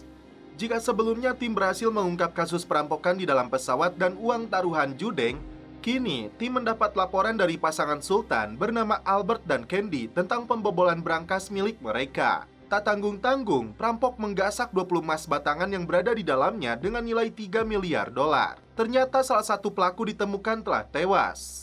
Saat melihat wajahnya, Martin terkejut karena pria ini adalah Kenny, orang yang sama-sama baru keluar dari penjara. Namun, Martin merahasiakan dulu apa yang dia ketahui ini kepada rekan-rekannya karena khawatir Jack ikut terlibat. Dari tangan pelaku yang tewas, ditemukan nomor ponselnya Molly. Dan Molly ini adalah istrinya Jack. Roger meminta bantuan Scorsese untuk cek kandungan narkoboy dalam rambut kedua anaknya. Datang ke rumah Molly, ternyata dia belum tahu bahwa Jack sudah dibebaskan. Roger sedang dalam perjalanan ke rumah Molly untuk memburu Jack. Tiba-tiba Martin melihat si Jack muncul di sana tapi langsung kabur. Tak tinggal diam, Martin langsung mengejarnya, begitupun dengan Roger saat melihat rekannya itu sedang ngebut. Martin berhasil menangkapnya, tapi dia menegaskan dirinya tidak membunuh Kenny. Martin terpaksa melepaskannya lagi karena Jack mengungkit hutangnya di masa lalu. Kapten Brooks mengeluarkan perintah kepada seluruh anak buahnya untuk menangkap Jack yang ditetapkan sebagai buronan perampokan dan pembunuhan. Namun Martin menolak memberitahu Roger tentang lembaran lamanya apa sebenarnya hutang dia kepada Jack. Dalam pertemuan ketiganya, Jack mengaku membicarakan tentang rencana perampokan ini di ruangan pembebasan bersyarat. Tugas Jack sebatas menjadi sopirnya. Tak tahu di mana emasnya karena muncul orang lain di TKP, alias tempat kejadian perampokan. Martin akan menyelidiki pelaku ketiganya, sedangkan Roger membawa Jack. Rambut yang ditemukan di TKP bisa menjadi jawaban. Siapakah pelakunya? Petugas pembebasan bersyarat bernama Robert McCoy datang ke markas LAPD untuk memberikan keterangan. Jack menjebak Roger agar mobilnya menabrak dan setelah itu dia rebut senjatanya agar bisa kembali kabur. Ternyata rambut yang ditemukan di TKP adalah milik Jack. Di waktu yang sama, dua anak Roger rupanya negatif narkoboy. Kini dia curiga kepada istrinya. Bailey sendiri menemukan bukti berangkas tersebut tidak dibobol karena bornya tidak tembus. Apakah pelaku mengetahui kombinasinya ataukah ada orang dalam di balik perampokan ini? Roger diomeli Tris setelah menuduhnya mengonsumsi ganjo lintingan. Tersisa Martin yang diduga Roger sebagai pemilik narkoboy jenis daun kering itu. Martin kembali mengingat masa kecilnya saat dia ditemani Jack dan Molly sedang main game. Tiba-tiba ayahnya yang sedang mabuk datang memukulinya. Martin sempat menodongkan senapan tapi dia dipukuli habis-habisan sampai Jack melepaskan tembakan. Albert akhirnya mengaku meminta Kenny pura-pura menerobos masuk untuk mencuri emas batangan. Setelah dia tahu istrinya selingkuh dengan seorang montir, dia mengaku kenal dengan Kenny di kantor pembebasan bersyarat setelah dia dihukum karena penggelapan pajak. Dan petugas yang membantunya bernama Robert McCoy. Di kantor Robert, dua detektif muda ini menemukan alat perekam suara yang disembunyikan di bawah meja. Tapi Robertnya menghilang. Ternyata Robertlah orang ketiga yang membunuh Kenny di TKP. Dan emas batangan itu berada di dalam mobilnya si Sultan yang berada di bengkel. Jack berhasil merampasnya lalu membawa kabur. Jack mengajak Molly untuk kabur membawa emasnya dan memulai hidup baru di luar sana. Tapi Molly menolak lalu muncul Martin dan Roger untuk menangkapnya. Tiba-tiba si Robert melepaskan tembakan ke arah Jack. Roger membalas dan langsung memburunya hingga si Robert pun tumbang. Sedangkan Jack yang tidak mau masuk penjara lagi terpaksa dilepaskan oleh Martin sebagai bentuk pembayaran hutang karena Jack pernah dipenjara demi menyelamatkan Martin. Tapi dia pergi tanpa emas dan juga Molly. Roger baru sadar ternyata lintingan itu memang milik Martin namun isinya cuma bako biasa karena rekannya ini tidak kebeli jarcok. Dan setelah itu, film pun berlanjut ke episode 7. Seorang peselancar bernama Kyle mendapat intimidasi dari kawanan geng khusus peselancar bernama Cody untuk pergi dari wilayah mereka. Karena keras kepala, Cody memberi peringatan untuk segera pulang atau dia akan masuk rumah sakit. Martin mengaku kurang tidur karena dihantui oleh ayahnya. Tim LAPD datang ke pantai setelah mendapat laporan ditemukannya jasad.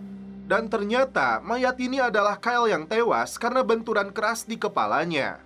Karena wilayah pantai itu dikuasai geng peselancar bernama Shore Boys pimpinan Cody, tim LAPD akan minta keterangan warga di sekitar pantai bernama Tom yang mengeluh dengan kelakuan geng itu. Saat Roger meminta keterangan dan memperkenalkan putranya yang bernama Austin, konyolnya si Martin malah sibuk dengan mesin pembuat kopi yang terus mengalir. Sementara itu, Bowman dan Sonia masuk ke sebuah bar untuk mencari informasi tentang Cody. Tiba-tiba, Cody kabur setelah pelayan memberitahu keberadaannya.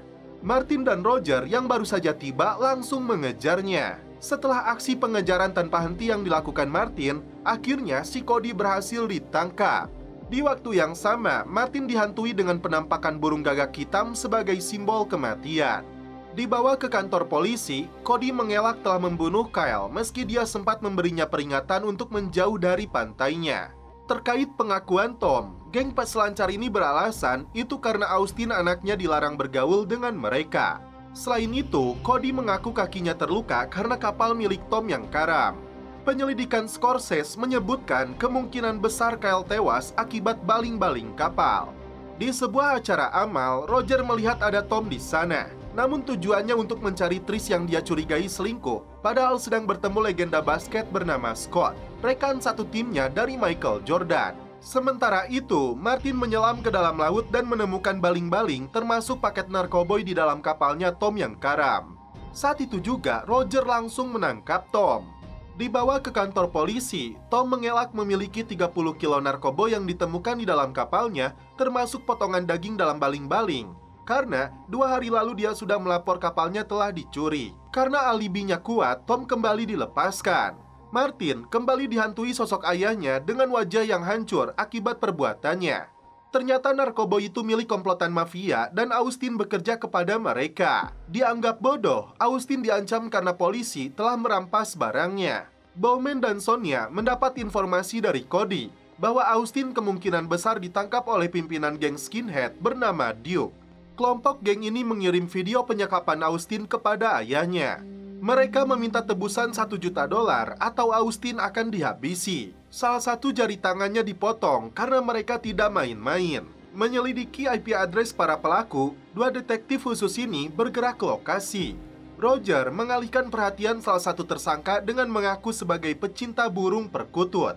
Kesempatan ini dimanfaatkan Martin untuk masuk hingga baku tembak pun terjadi. Sementara Roger masih berjibaku dengan para penjahat, Martin masuk ke dalam ruang bawah tanah melumpuhkan mereka untuk membebaskan Austin. Meskipun Duke yang membunuh Kyle, tetap saja Austin harus menghadapi persidangan karena terlibat dengan mereka. Dan setelah itu, film pun berlanjut ke episode 8. Seorang pria bernama Jerry membawa istrinya yang bernama Adriana ke rumah sakit karena sudah merasa akan segera melahirkan. Pria busekel bernama Pom-Pom terkejut saat melihat si pria itu. Di saat Pom-Pom hendak menghubungi seseorang, tiba-tiba dia dibunuh menggunakan garpu. Di sela waktunya, Martin sering membantu masalah di rumahnya Molly yang sudah dianggap sebagai adiknya sendiri. Datang ke TKP, terlihat di tangan Pom-Pom terdapat alat pancing yang menusuk tangannya. Diduga alasan dia datang ke rumah sakit. Ditemukan juga pistol di balik celananya karena Pom-Pom tercatat sebagai residivis kambuhan. Ternyata sidik jari dari garpu tersebut tercatat atas nama Dr. Jerry.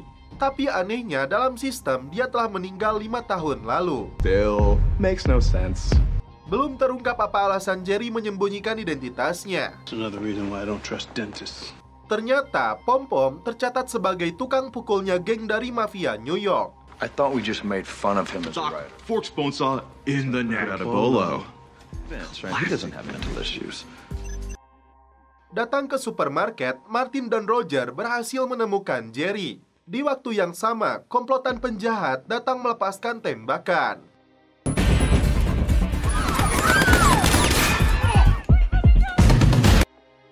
Dengan gayanya yang nyentrik, Martin berhasil menumpas mereka. He came back for the diapers. Adriana tidak percaya bahwa Jerry adalah pembunuhnya. That may be true. No, not my husband, detective. My information. Roger mengajak Scorsese menemui temannya yang bernama Nick. Rupanya Adriana adalah jagalnya si Frank dan mantan kekasihnya. Kembali menyelidiki rekaman CCTV, Martin melihat garpunya diambil oleh Adriana. Pengejaran pun dilakukan tim LAPD setelah Jerry kabur.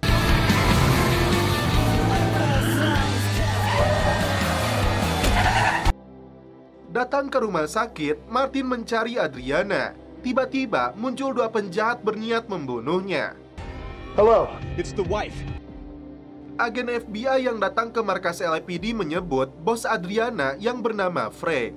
She's probably in Mexico by now. Not perfect, but Malam itu, Adriana menghubungi Martin untuk membuat kesepakatan sama-sama menangkap Frank. Tapi dia mau Martin berjanji untuk menjaga keluarganya. Dan inilah Frank dan anak buahnya Pauli yang baru saja mendarat di LA. Entah apa alasannya, tiba-tiba Pauli dibunuh Bu Mansur. Dalam pengakuannya kepada agen FBI, Adriana menyebut Frank sebagai sosiopat. Everyone knew who was calling the shots. Ternyata Jerry sudah ditangkap. I didn't offer anything valuable. Don't give up on bringing Truno down. Look, I promise you, detective.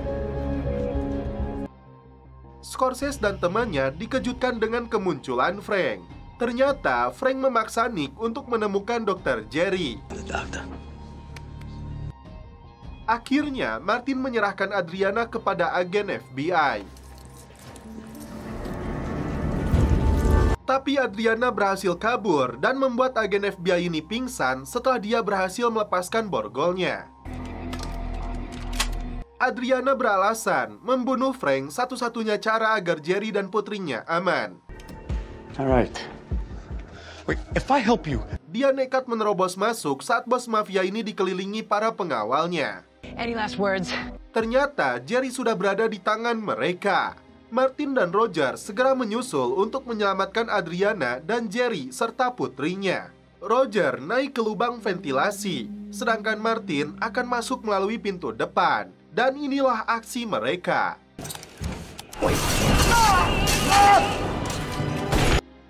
Misi mereka berhasil untuk menyelamatkan Adriana dan keluarganya serta menangkap si Frank. Thank you, Riggs. Dan setelah itu, film pun berlanjut ke episode 9. Malam itu, seorang polisi mengejar copet sampai dia bersembunyi di dalam tong sampah. Copet itu kabur dan meninggalkan tasnya. Karena rupanya di dalam tong sampah itu terdapat mayat pria yang ditembak mati di kepalanya. Datang ke TKP, Martin dan Roger menelusuri apartemen sekitar. You, you want to follow them? Pengakuan warga di sana ada pria bernama Tom yang dikenal tertutup. Masuk ke kamarnya, mereka tidak menemukan orangnya, namun melihat banyak poster tentang teori konspirasi sampai Martin dan Roger lompat mengira ada bahan peledak aktif. Dan ternyata dugaan Martin benar. Tim melakukan olah TKP. Bailey sudah mendapatkan identitas jasad itu yang diketahui bernama Larry, perampok dan pencuri kambuhan. Foto wanita yang ditemukan Bailey diduga sebagai target Tom selanjutnya. We gotta find her before he does. Datang ke kantor polisi bersama anaknya, ternyata tersangka adalah suami dan ayah anak ini. Tom dan istrinya pisah karena Tom yang menderita skizofrenia sering kali kambuh. Sebagai insinyur hebat, banyak hal luar biasa dilakukan Tom, namun setelah obatnya habis, itu berubah jadi delusi. Taman Plumer adalah tempat favoritnya Tom untuk bermain catur. Says it calms his mind. Tom langsung kabur setelah Martin memanggil namanya. Setelah tersudut, Tom berniat bunuh diri. Namun Martin yang sedeng kembali kambuh meminta Tom menembak dirinya saja. Saat itulah Roger melompat dari atas untuk menangkapnya. Tom menolak dituduh sebagai pembunuh. Sedangkan bahan peledak yang dia pasang untuk merusak laptopnya saja. Tom mengaku dijebak seseorang setelah dia tahu akan ada kejadian besar di kota ini. Mereka hendak membungkamnya. Tom menyebut nama Elvis Presley. That's what he wants you to think. Traffic. Really? Namun Bailey tetap menyelidikinya. Tiba-tiba komputer Bailey diserang hacker. What did you just do? Elvis is dead and the moon. Tiba di sebuah lokasi, Martin dan Roger disambut sebuah drone. Of your information. Tak pakai basa-basi, Martin langsung menembaknya. Whoever's operating this thing's nearby. Dua orang pemuda yang mengendalikan drone-nya ditangkap. It's sad. It is sad. Menyebut Larry adalah teman mereka dan Tom adalah monster. Menggunakan piranti lunak mereka untuk meneliti peledak tinggi berkekuatan megaton.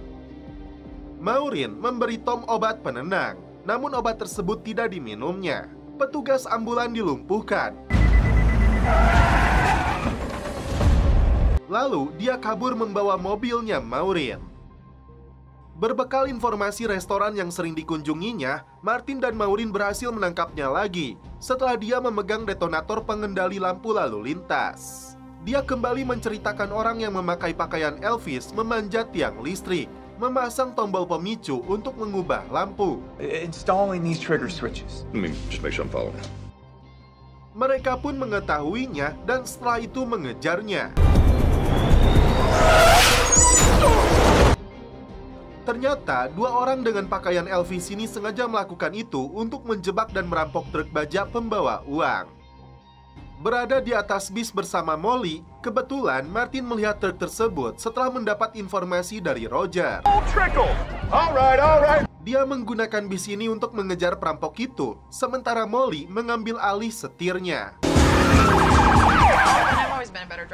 Anyway.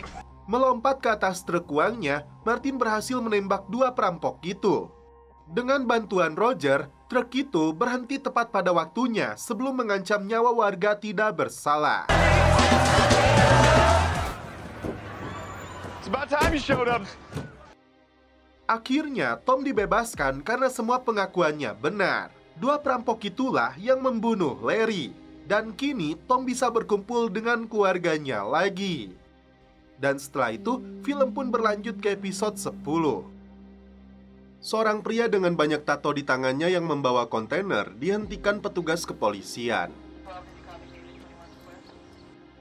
Penggeledahan dilakukan di dalam kontainer tersebut untuk memastikan tidak ada barang berbahaya atau ilegal di dalamnya. Tiba-tiba, polisi ini heran karena celana yang mereka pegang luntur akibat bensin.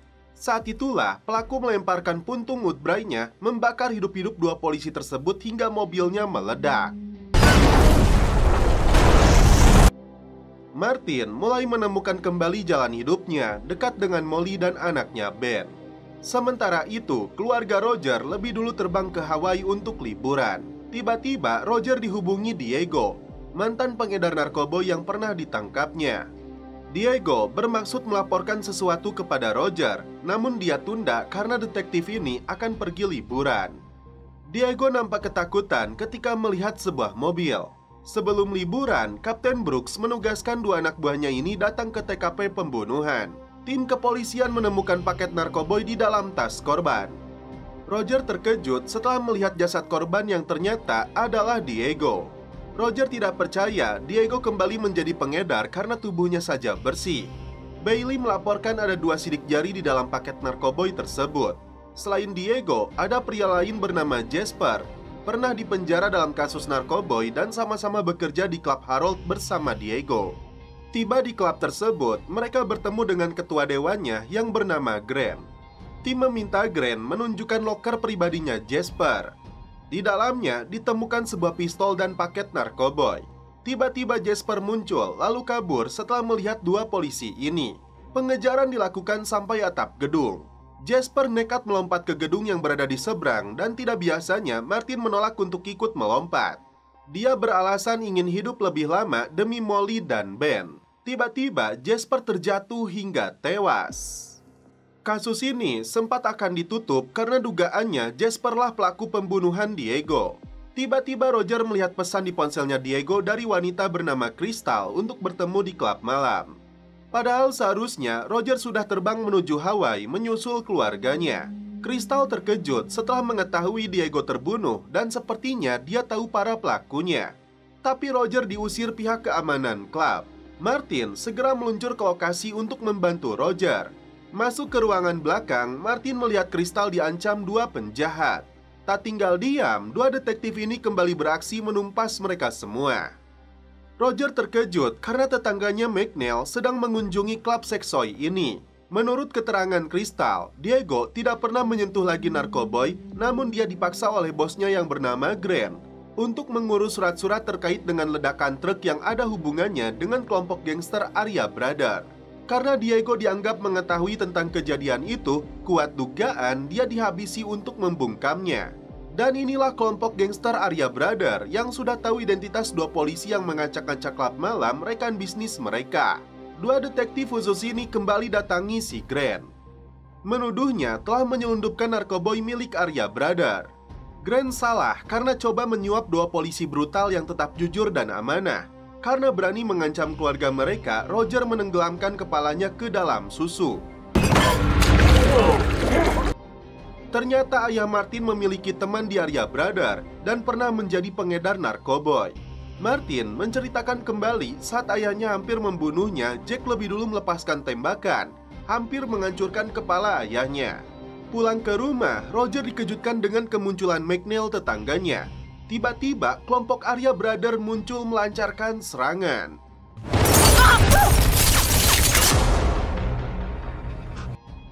Begitupun terhadap Martin yang diserang habis-habisan terpojok di dalam mobilnya.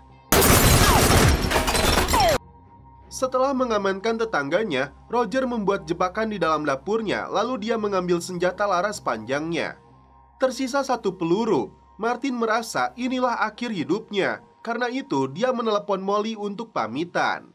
Begitupun dengan Roger yang langsung menghubungi Tris untuk minta maaf kepadanya. Saat mereka masuk ke dapur, ledakan terjadi dari open listriknya. Anehnya, komplotan gangster yang mengepung Martin tiba-tiba pergi setelah mereka mendapat perintah untuk mundur.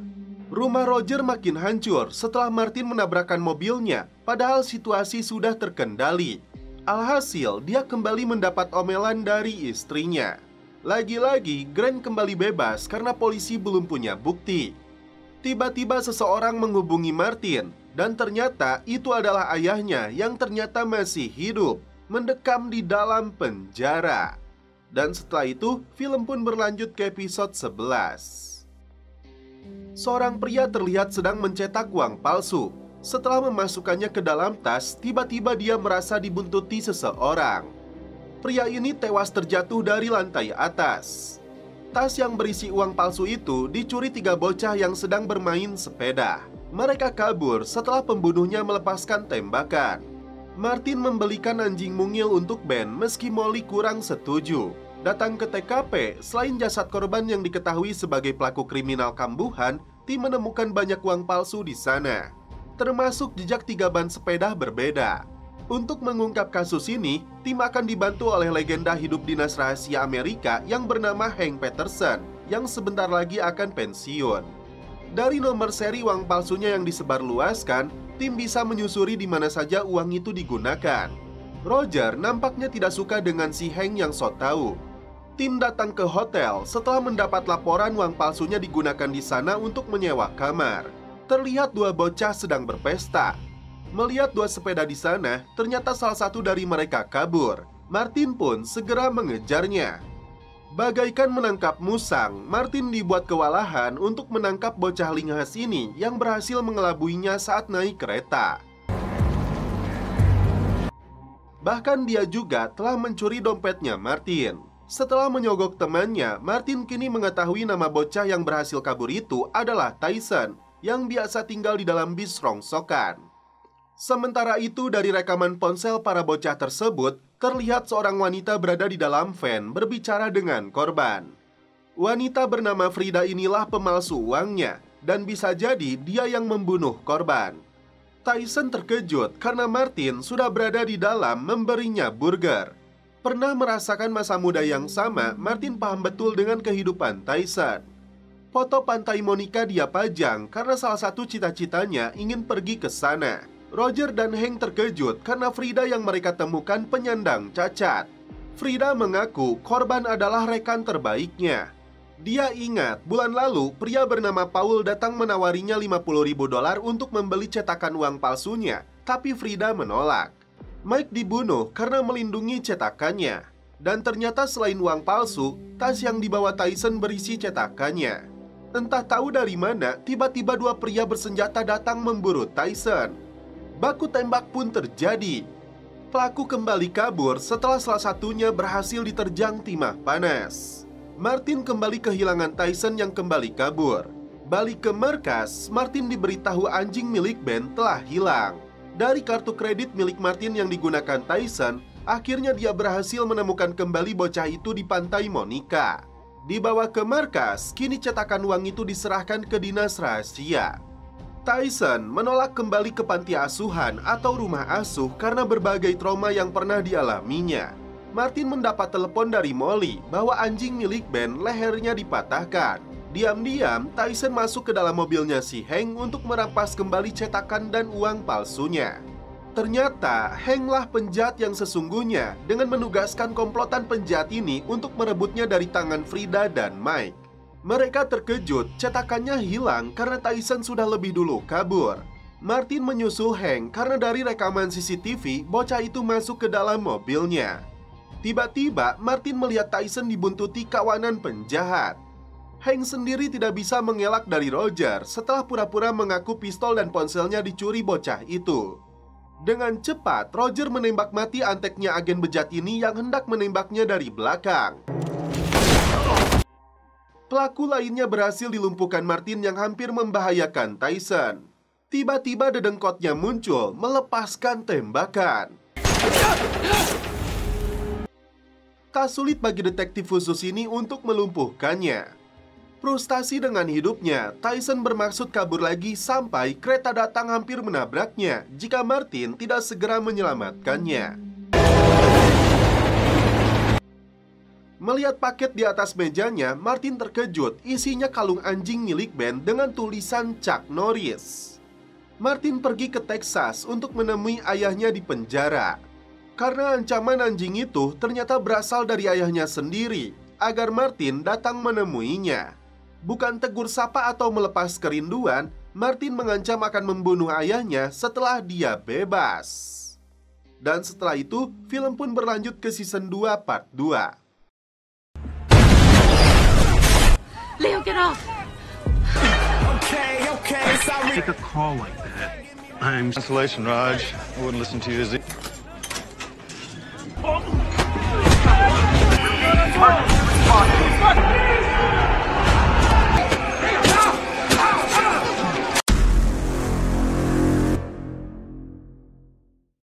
Di sebuah restoran, Tris bertemu dengan temannya yang seorang pengacara juga sekaligus calon wali kota bernama Ginny.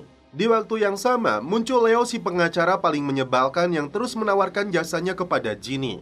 Ternyata selain Ginny, ada calon wali kota lain bernama O'Brien yang saat ini masih menjadi anggota dewan.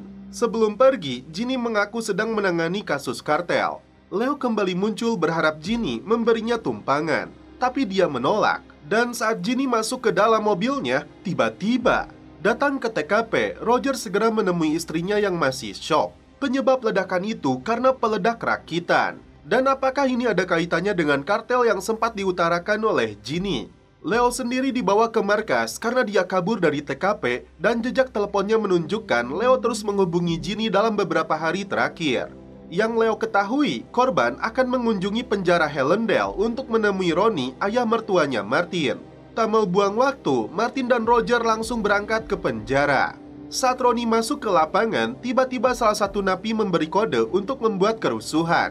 Martin tak tinggal diam saat melihat salah satu napi berlari ke arah mertuanya. Meski berhasil melumpuhkan pelaku, Ronnie lebih dulu terkena tikaman senjata tajam. Ronnie segera dilarikan ke rumah sakit. Sebagai mantan anteknya kartel, tak aneh jika kartel menginginkan dia mati seperti yang terjadi kepada Ginny. Yang Roni ketahui, Ginny memang akan datang menemuinya membicarakan masa lalu. Ini ada hubungannya dengan kediaman Ojai, tempat Martin dan Miranda melangsungkan pernikahan. Saat pemakaman Ginny sedang berlangsung, Tris dan Leo melihat Serrano yang berada di restoran sebelum Ginny terbunuh. Tak mau hanya nonton, Leo mengajak Tris mengusut juga kasus ini. Serrano diketahui sebagai orang sewaannya para pejabat yang memiliki masalah. Datang ke markasnya, Serrano yang songong tidak mau menjawab pertanyaan dua detektif ini. Kesabaran Martin diuji karena Serrano pernah dimintai bantuannya oleh Roni dan Miranda yang ingin tahu semua tentang masa lalu Martin. Sebelum pergi, Martin menghancurkan akuariumnya. Sementara itu, Leo kembali teringat dengan pengacara saingannya bernama Monica yang saat itu berhasil mendapatkan O'Brien sebagai klien sekaligus selingkuhannya. Kesimpulannya, Ginny mengetahui tentang perselingkuhan rivalnya itu dan kemungkinan besar Ginny dibunuh untuk membungkamnya agar Brian lolos menjadi wali kota. Sementara itu, Roger dan Martin sedang mengintai kantor kampanyenya Brian. Terlihat Serrano datang menemui Brian. Tiba-tiba, si Leo dan Tris malah menabrak mobil mereka. Keempatnya ribut di ruangan Kapten Brooks. Di waktu yang sama, Martin melihat foto Brian dan Monica di rumah mertuanya. Tiba-tiba tengah malam, Leo datang ke rumah Roger membeberkan bahwa Monica diyakininya telah dibunuh oleh Brian karena selingkuhannya itu tidak pernah sampai di Wichita. Martin menggali tanah tepat di rumahnya Roni dan menemukan sisa-sisa kerangka manusia. Tiba-tiba anak buah Serrano menciduknya. Datang ke markas LAPD, Brian gagap saat ditanya di mana Monica sekarang. Serrano dan anak buahnya akan menggantung Martin di tempat dulu dia mengikat janji dengan Miranda. Untung saja Roger datang tepat waktu menyelamatkannya. Dua detektif balik menyerang dan menghabisi mereka, termasuk Serrano yang tidak berkutik di dalam liang kubur. Brian sendiri ditangkap karena pembunuhan terhadap Monica. Kembali ke rumah sakit, Martin baru mengetahui dari perawat bahwa mertuanya sudah meninggal dunia karena luka serius yang diterimanya.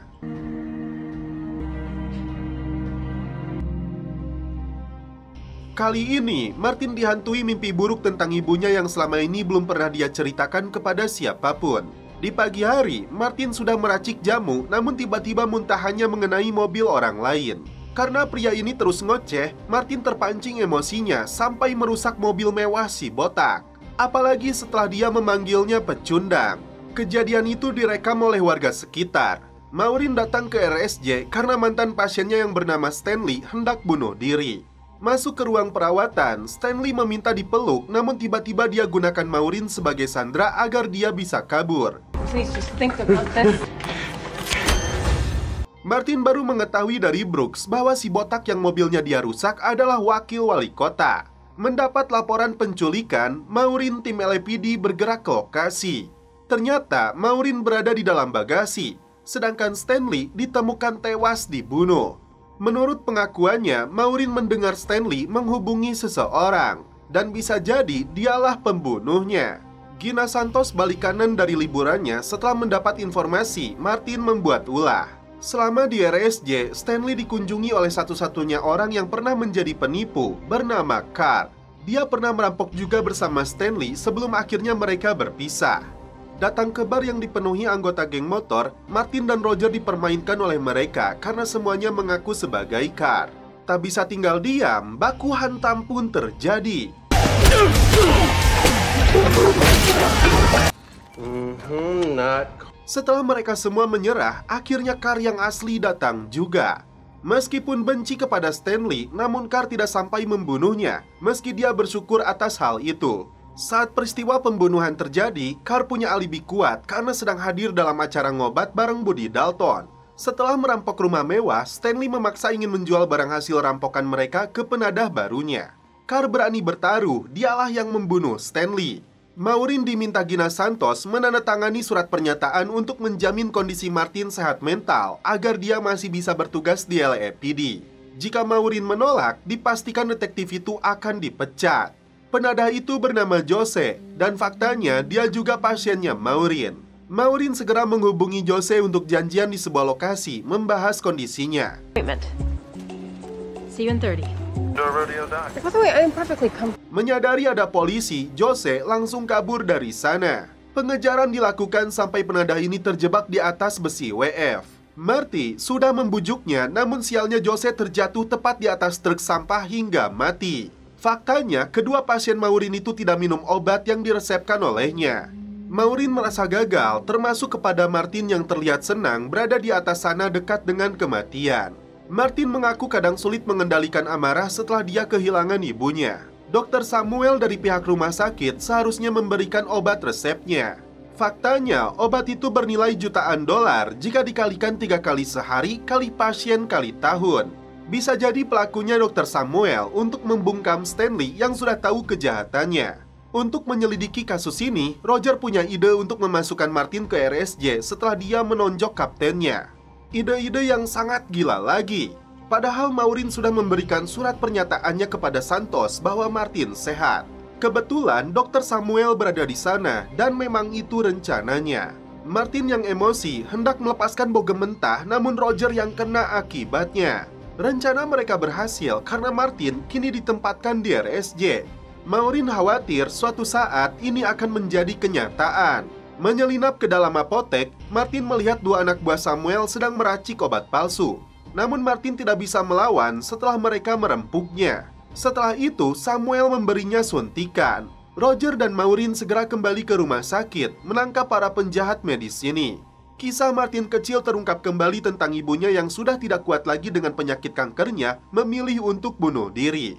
Maureen dan Roger lega karena kondisi Martin baik-baik saja. Giliran Martin yang minta dipukul oleh Roger, namun ternyata wajah Kapten Brooks yang kena jebrot.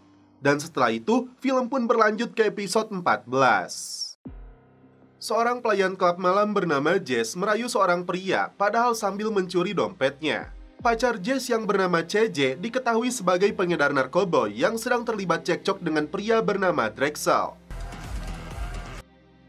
Baru saja Indahoy dengan CJ, tiba-tiba seseorang datang membunuh CJ dengan besi tajam yang biasa digunakan menghancurkan es. Bersembunyi di kolom kasur, Jess melihat pelaku menggunakan sepatu kulit dengan tali warna merah.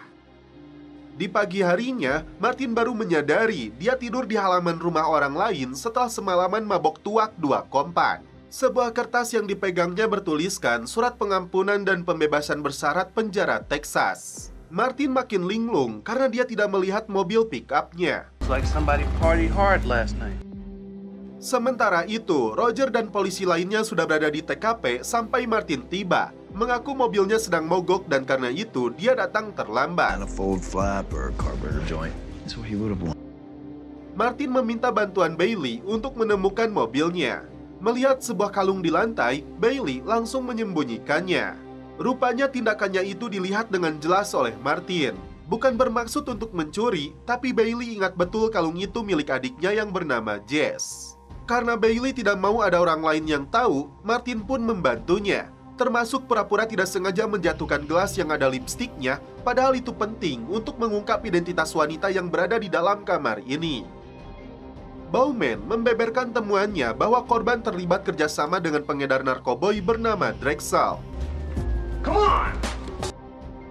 Setelah melacak ponselnya Jess, Martin dan Sonia datang ke lokasi. Ternyata di dalam sana, mereka melihat Jess sedang terlibat adu mulut dengan penjahat yang membunuh CJ. Ternyata di luar sana, ada Roger dan Bowman yang terancam karena para penjahat itu melihat mereka. Martin melemparkan batu untuk memberi peringatan kepada Roger. Tiba-tiba, komplotan penjahat itu melepaskan tembakan lalu kabur dari sana. The car saved my life. Jess tidak bisa mengelak bahwa Jess telah mencuri dompet milik pria ini lalu menggunakannya untuk menyewa kamar hotel. It's from wallets that we stole. Duh. Honestly, I was embarrassed and I knew Riggs wouldn't care. Tim kembali ke klub malam untuk memburu pelaku pembunuhan. Saat merangkak, Jess melihat sepatu yang digunakan pelaku dengan model sama. Tiba-tiba, penjahat itu membawa Jess sampai Martin melumpuhkannya. Sementara itu, Roger menemukan CJ sudah berlumuran darah. Saat Martin melihat kondisi pria ini, tiba-tiba seseorang melepaskan tembakan ke arahnya. Untung saja, botol minuman itu menyelamatkan nyawanya. Meski tidak mendapatkan identitas si penembak, sedan tua dengan warna merah anggur milik tersangka bisa mereka manfaatkan untuk memburu pelaku. Kesimpulannya, saat kartu kredit milik CJ digunakan oleh Jess, Pembunuh bayaran mencari Bristow dan uangnya, tapi hanya ada CJ di sana. Kini pembunuh itu sedang memburu Jess, entah apa yang mereka cari. Ternyata Jess melihat sebuah kunci di dalam dompetnya CJ. Kunci itu rupanya untuk membuka loker yang ada di pasar malam yang berisi sebuah tas penuh dengan uang. Bailey pergi setelah mengajukan pengunduran diri karena dia merasa bersalah menyembunyikan barang bukti. You, you said something. I put a lot of time and Bauman menemukan mobil pelaku di sebuah lokasi yang tersorot kamera CCTV. Tiba-tiba, Jess muncul di dalam apartemennya Bailey. Jess membeberkan jutaan dolar yang dia temukan di dalam loker yang jadi penyebab CJ dibunuh. Tak berselang lama, Roger datang ke sana. Bailey pun berkata jujur bahwa Jess ada di sini. Sementara itu, Martin masuk ke dalam rumah para pelaku. Namun Martin lebih dulu dipukul dari belakang hingga tidak sadarkan diri. Roger dan Bailey bernasib sama, ditodong oleh salah satu pembunuh bayaran lalu disekap di dalam bagasi. Plenty of room in the sedan. Blonde, mustache. Ternyata ada tiga pembunuh bayaran yang akan mengubur mereka hidup-hidup. Martin berhasil membalikan keadaan dengan melumpuhkan penjahatnya. Bailey melawan salah satu pembunuh bayaran itu saat mengambil uangnya. Begitupun dengan Roger yang berhasil menyerang pelaku terakhir dengan mencekiknya. Mobilnya melaju kencang hingga ledakan besar terjadi. Namun ternyata Roger lolos dari maut. Kini, Jess harus mempertanggungjawabkan kejahatannya di depan pengadilan. I like that. Dan setelah itu, film pun berlanjut ke episode 15. Di sebuah toko emas dan berlian, seorang wanita tua kita sebut Ce Edo malah sibuk mengambil makanan gratis yang disajikan untuk pengunjungnya. Terlihat ada pasangan suami istri yang sedang berbelanja di toko ini. Tiba-tiba, dua perampok bersenjata masuk menggasak berbagai perhiasan mewah di toko ini. Ketika pelaku memaksa seorang wanita menyerahkan cincin berlian di jarinya, di luar dugaan, Ceedoh menembak pelaku. Ketika mereka kabur, salah satunya tewas ditabrak truk kontainer. Ingin lepas dari minuman keras, Martin menembak botol miras favoritnya. Singkat cerita, tim LAPD tiba di TKP. Melihat jasad pelaku, Scorsese sendiri sudah merampas senjata milik Ceedoh. Dimintai keterangan oleh Martin, Ceedoh mengaku tinggal di dalam trailer. Bahkan, sifatnya pun sedikit menjengkelkan persis seperti Martin. Martin menggeledah mobilnya untuk mencari SIM dan STNK. Tiba-tiba pintu mobilnya Ceedoh rusak karena tertabrak mobil yang melintas. Dibawa ke kantor polisi, dia menuntut Martin memperbaiki pintu mobilnya lagi bonus ganti oli. Saat melihat rekaman di TKP, Bowman tidak berhasil melihat plat mobil milik pelaku. Tapi kocaknya, Ceedoh justru yang mengetahuinya. Namun dia tidak memberitahu Martin kecuali dipesankan kamar hotel sampai mobilnya selesai diperbaiki. Berbekal plat nomor mobil itu, Martin dan Roger berhasil menemukan pelaku saat memindahkan barang hasil rampokannya ke dalam bagasi mobil mewah. Martin menangkap pelaku, sedangkan Roger melompat ke atas mobil karena pelaku lainnya menolak turun.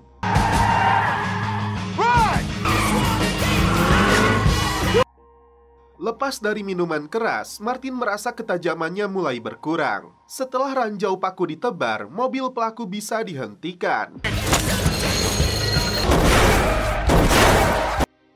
Namun ternyata di dalamnya tidak ditemukan siapa pun karena mobil ini dikendalikan dari jarak jauh. Dari pengakuannya, perampok ini disewa seseorang melalui situs gelap. Jadi dia tidak mengetahui identitas dalang perampokan itu. Bahkan pembayarannya pun menggunakan Bitcoin. Tapi Bowman mendapatkan informasi mobil tersebut terdaftar di perusahaan cangkang milik pria bernama Herb. Pria yang sedang bersama istrinya ini korban yang berada di toko perhiasan itu. Ditambah lagi, data keuangannya menunjukkan perusahaan milik Herb bangkrut. Dianggap sebagai terduga, Brooks menugaskan anak buahnya untuk menginterogasi Herb. Sialnya, Herb telah menghilang dan menurut catatan dia baru saja menaikkan polis asuransi jiwa istrinya.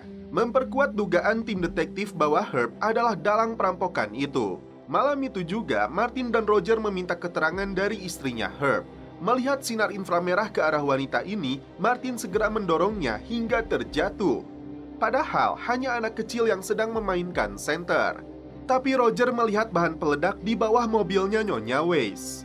Untung saja si botak ini dengan sigapnya melempar peledak itu ke dalam tong sampah. Tercatat 10 juta dolar untuk polis asuransinya Waze. Jika saja wanita ini meninggal, dipastikan Herb yang akan menerima dana segar tersebut. Pengacara keluarga mereka membeberkan lokasi kondominium di Camarillo, rumah yang biasa digunakan Herb membawa cewek selingkuhannya. Karena membuat ulah di hotel, Martin mengajak Ceedoh tinggal sementara di dalam mobil trailernya.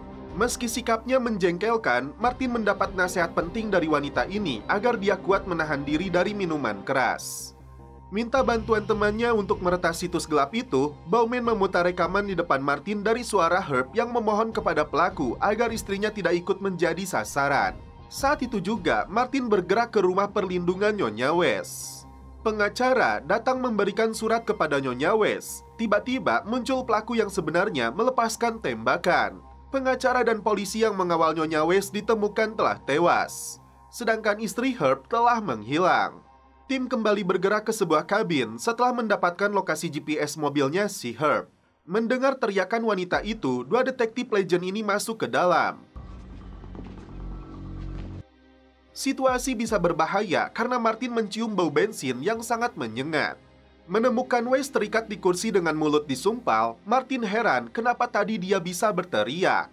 Dan faktanya, istri Herb adalah dalang dari semua rencana jahat dia kepada suaminya sendiri. Tiba-tiba Martin diserang. Begitupun dengan Roger yang terlibat baku tembak dengan pelaku lainnya. Wes kabur setelah melepaskan tembakan menggunakan pistolnya Martin. Roger menemukan Herb terikat di dalam ruangan dan segera membawanya keluar. Martin pun berhasil melumpuhkan wanita itu. Roger terpaksa kembali masuk ke dalam kabin yang dipenuhi gas hanya untuk menyelamatkan kucing milik si bocah. Dan setelah itu, film pun berlanjut ke episode 16. Hari itu, kepolisian LAPD menggelar kegiatan pembelian senjata milik warga sampai terkumpul ratusan pucuk. Di waktu yang sama, kelompok anggota gangster menjalankan rencana untuk mencuri ratusan senjata tersebut. Pimpinan mereka yang bernama Carlo bersikeras perampokannya dilakukan saat ini juga. Padahal rekannya Booker sudah mengingatkan agar perampokannya dilakukan malam hari. Tidak diceritakan bagaimana kronologis kejadiannya, namun Carlo ditemukan tewas di TKP. Tercatat 400 senjata yang telah dicuri. Bukan ditembak polisi, namun oleh rekannya sendiri. Singkat cerita, Martin dan Roger datang ke wilayah yang dikuasai gangster. Pengakuan wanita ini setelah Carlo mati, Booker lah yang naik sebagai penggantinya.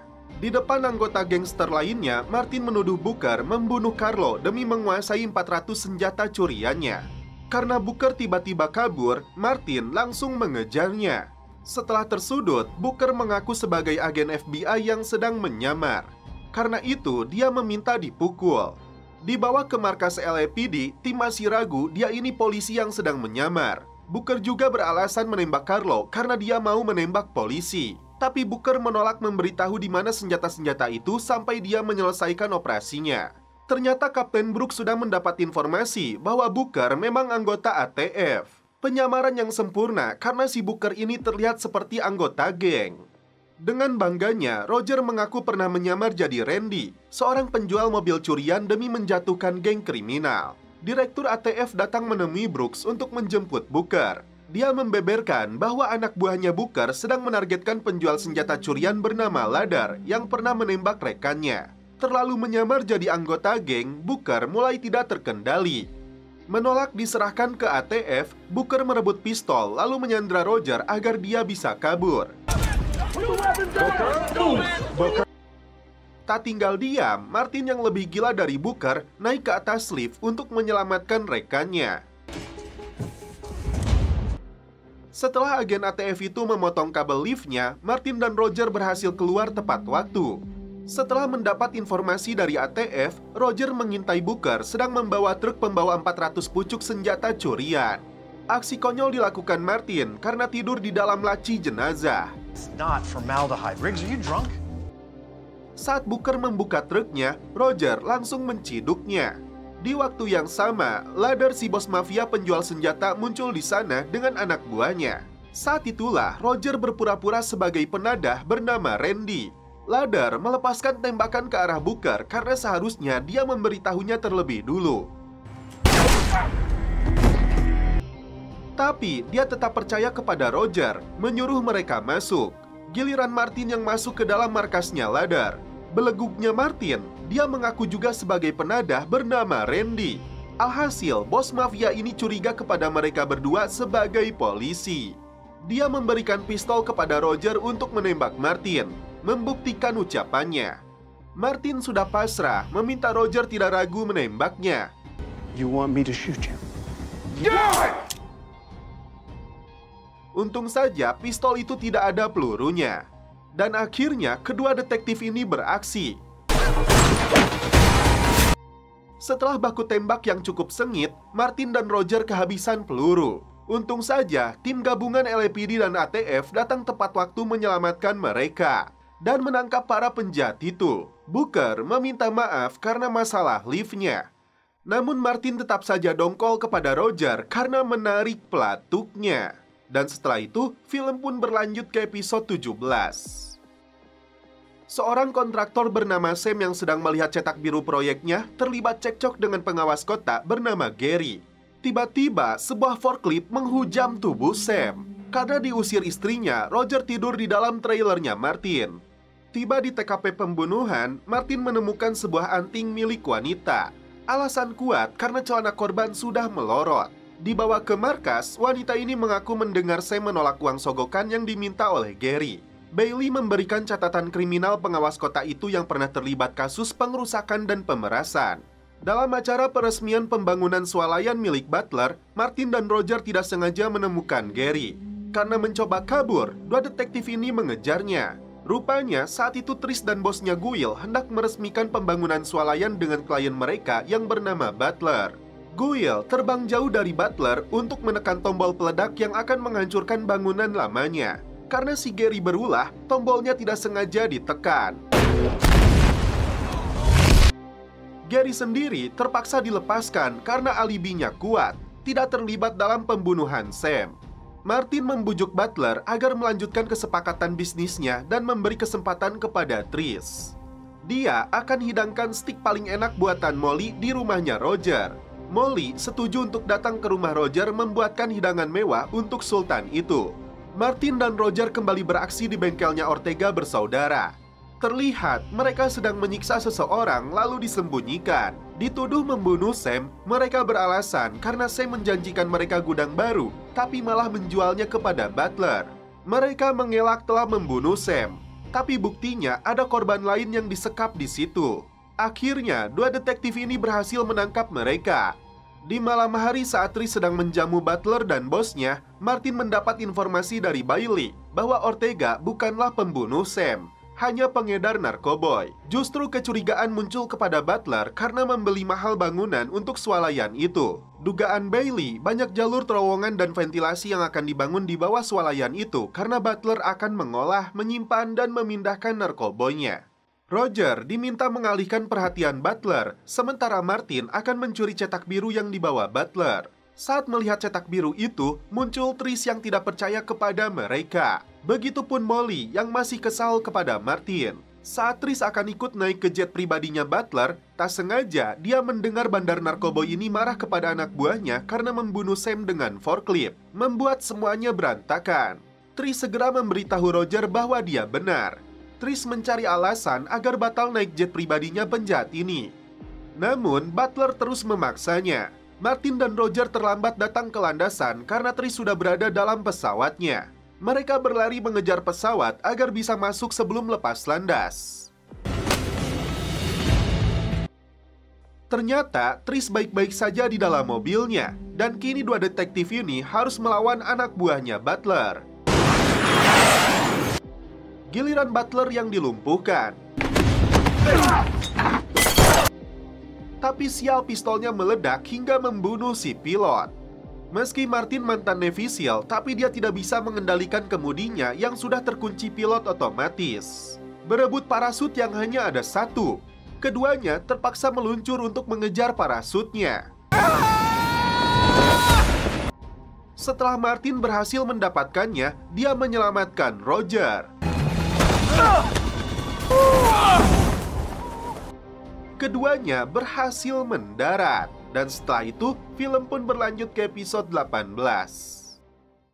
Roger kembali mengingat masa lalunya saat masih menjadi petugas patroli. Malam itu, dia mendengar tembakan, menemukan seorang pria sudah tergeletak tidak bernyawa.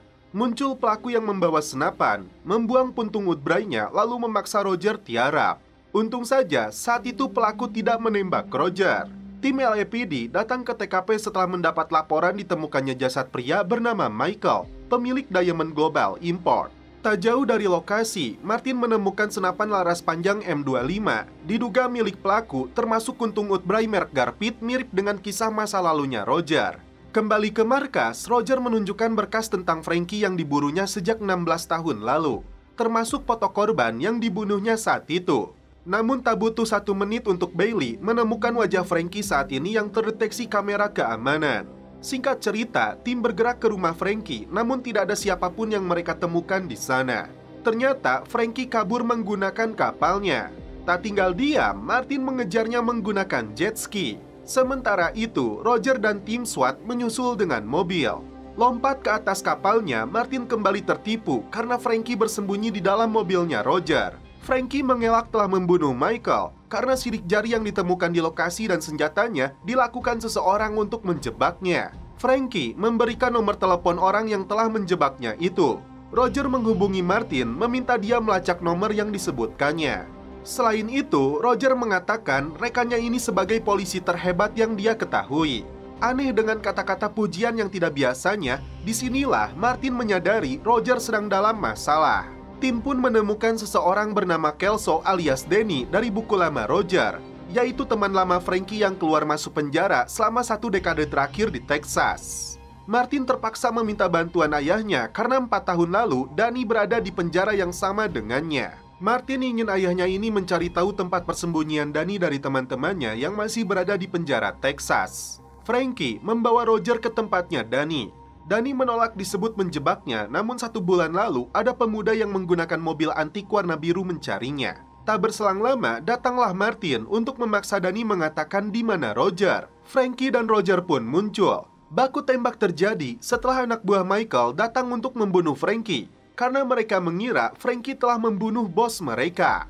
Akhirnya, mereka semua berhasil dihabisi. Dua orang napi menyerang ayah Martin setelah dia bertanya tentang Dani. Meski Amerilo berhasil melumpuhkan mereka, namun dia sendiri terkena tikaman.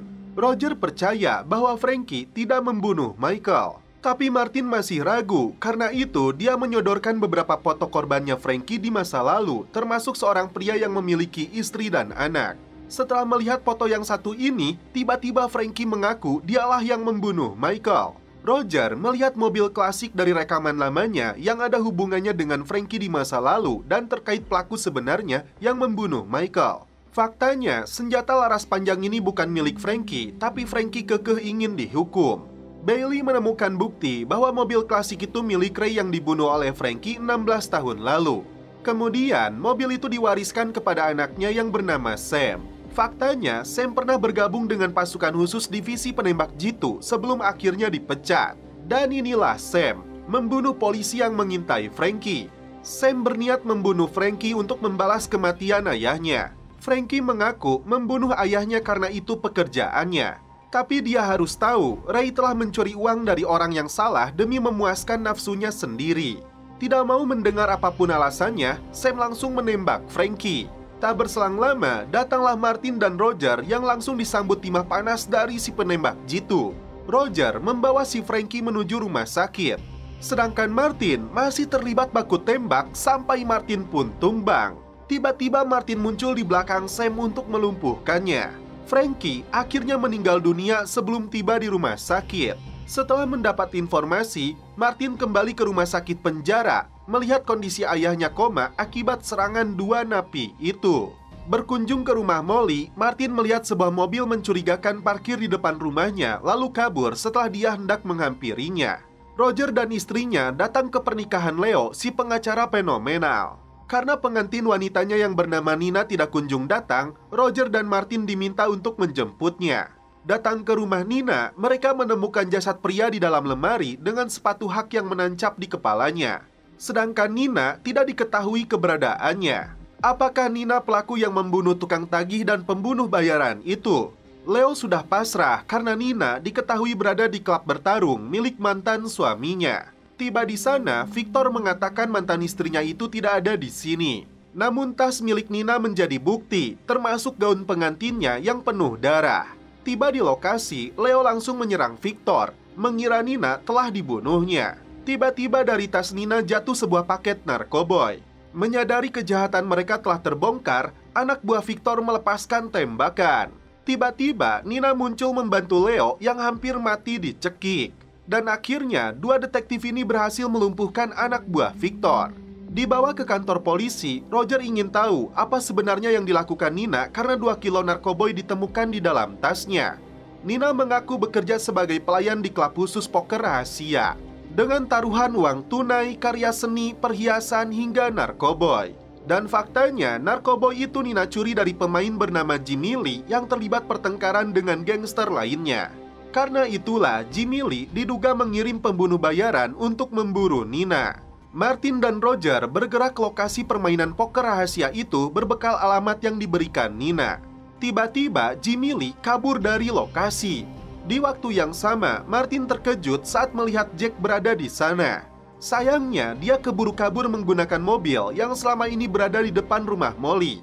Dikonfirmasi kepada Molly, akhirnya dia memberikan alamat motel tempat Jack tinggal. Tiba di sana, Martin ingin tahu kenapa Jack kembali. Padahal dia sengaja melepaskannya, berharap Jack mencari kehidupan baru di luar sana.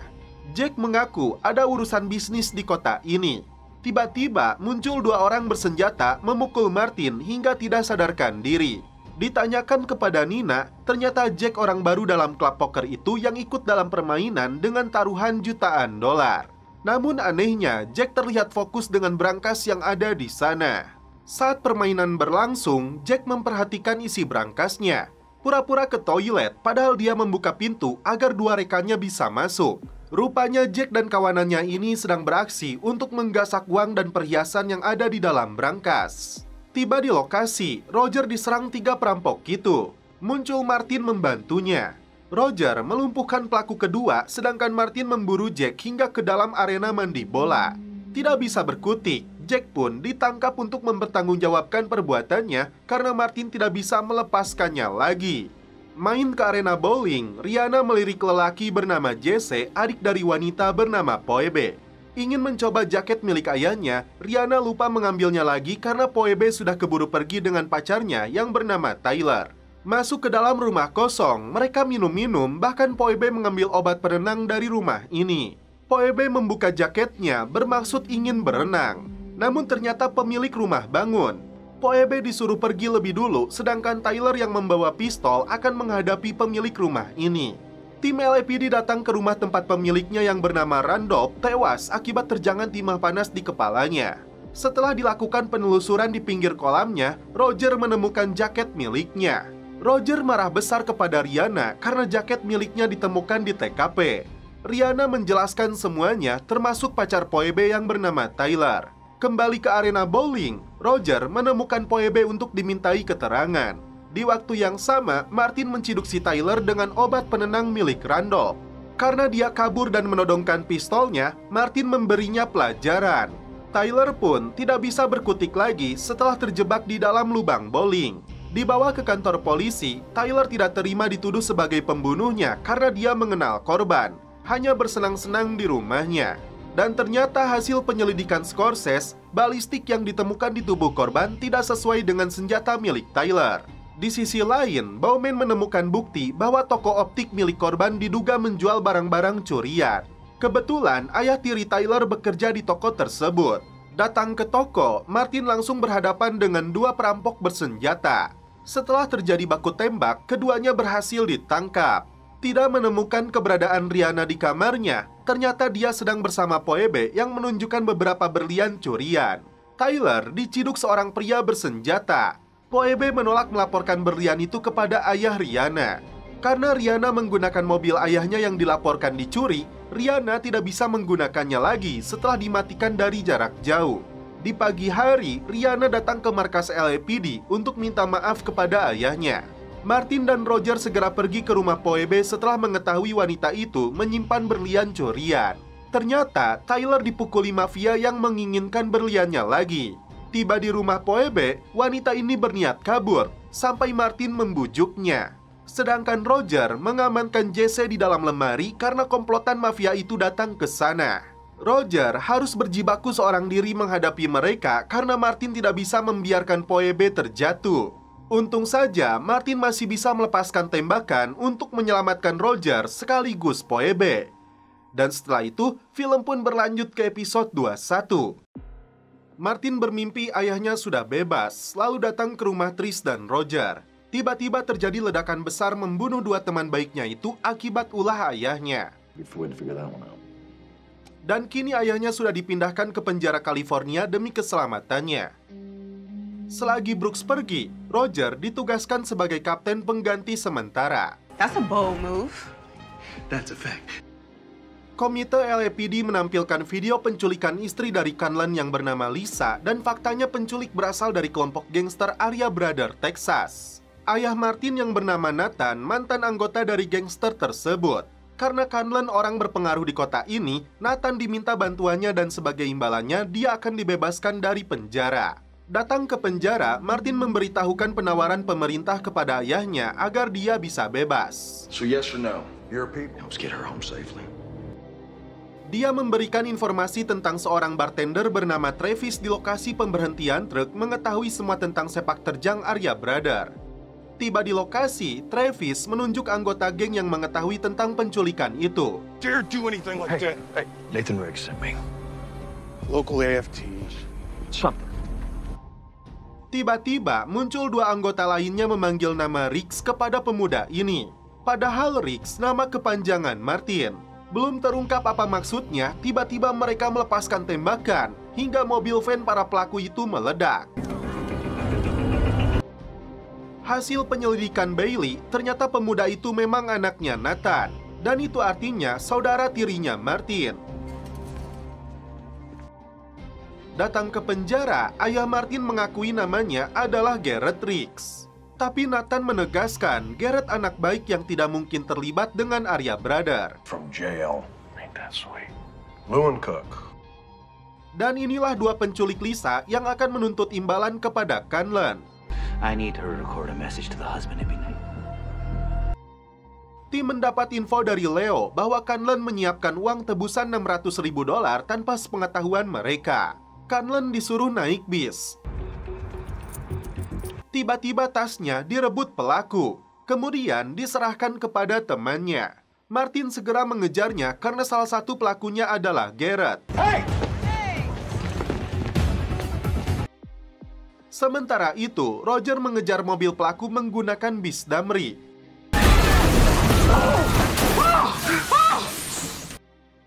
Garrett mengaku terpaksa melakukan ini karena mereka memaksanya. Tiba-tiba, sebuah mobil taksi menabraknya. Nathan marah setelah mengetahui anaknya tertabrak mobil karena Martin gagal melindunginya. Kini Garrett masih tidak sadarkan diri di ruang perawatan. How does it feel? It's on you! Tim menyadari ada yang disembunyikan Canlan karena tas uang yang dia serahkan kepada penculik tidak mungkin muat sampai 600 ribu dolar. Pria bernama Sen marah kepada Leo, padahal dia ingin membantunya mendapatkan ganti rugi dari LAPD. Karena Sen salah satu penumpang bis Damri yang dikemudikan ugal-ugalan oleh Roger. Setelah didesak, Canlan mengaku telah memberikan rute truk dari perusahaan farmasi miliknya yang membawa bahan baku narkoboy kepada penculik demi membebaskan Lisa. Martin sudah berada di lokasi untuk mengintai mereka. Saat truk pergi, Martin sedang santuy tiduran di atas kontainer. Sedangkan Roger mendapat izin untuk menggunakan Ferrari-nya LAPD dalam memburu pelaku berbekal informasi dari Leo yang sedang membuntutinya. Sialnya, Leo keburu keciduk penculiknya, disekap bersama Lisa. Martin beraksi untuk melumpuhkan anggota geng yang membawa truk kontainer.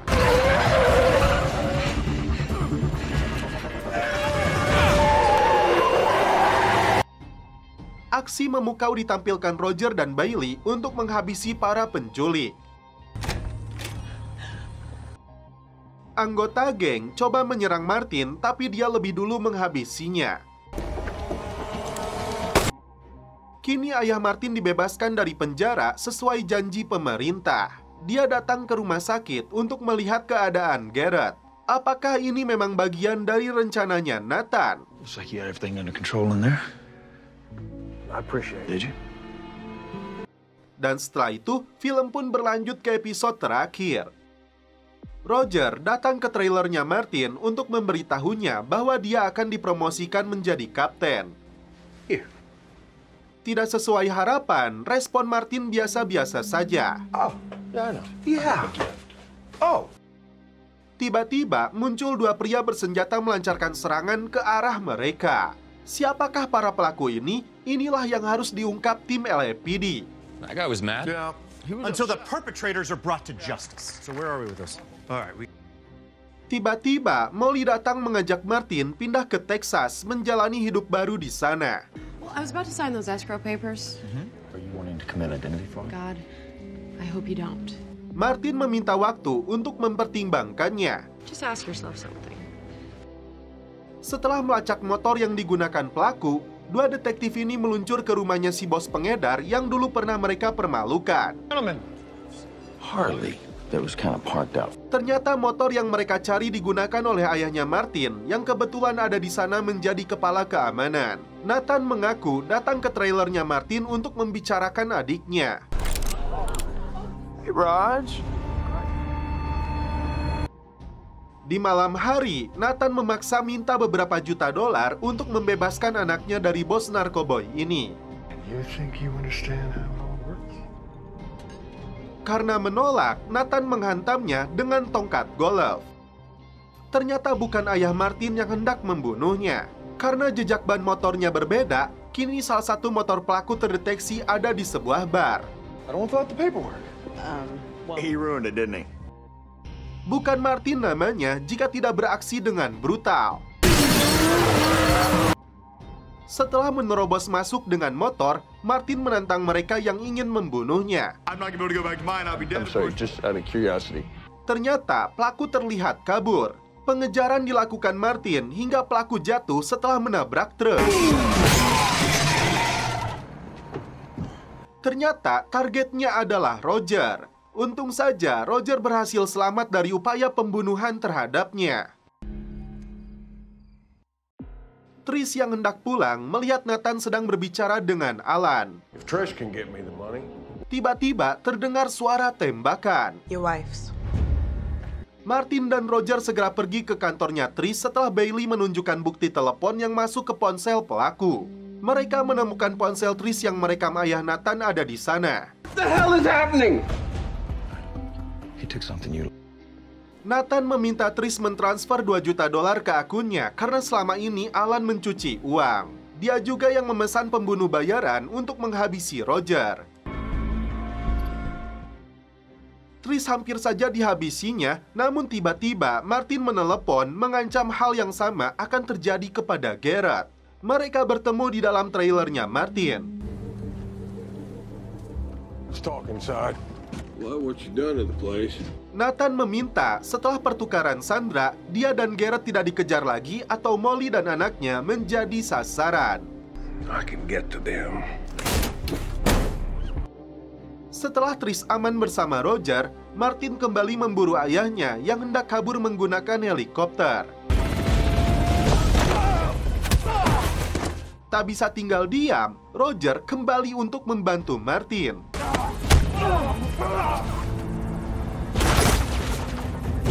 Garrett sendiri kabur dari sana, tidak peduli dengan ayahnya. Tiba-tiba Martin ditusuk oleh Nathan. Sedangkan Roger menjebak dua anak buahnya dengan granat di dalam trailer. Martin kembali bangkit menyerang ayahnya dengan batu. Setelah disambut rekan-rekannya, Martin memutuskan untuk pindah. Dia pergi ke makam istrinya. Tiba-tiba Garrett muncul di sana melepaskan timah panas ke arah Martin. Dan setelah itu film pun berakhir. Oke guys, terima kasih yang sudah menonton sampai episode terakhir ini. Salam percelepotan duniawi. Keep enjoy.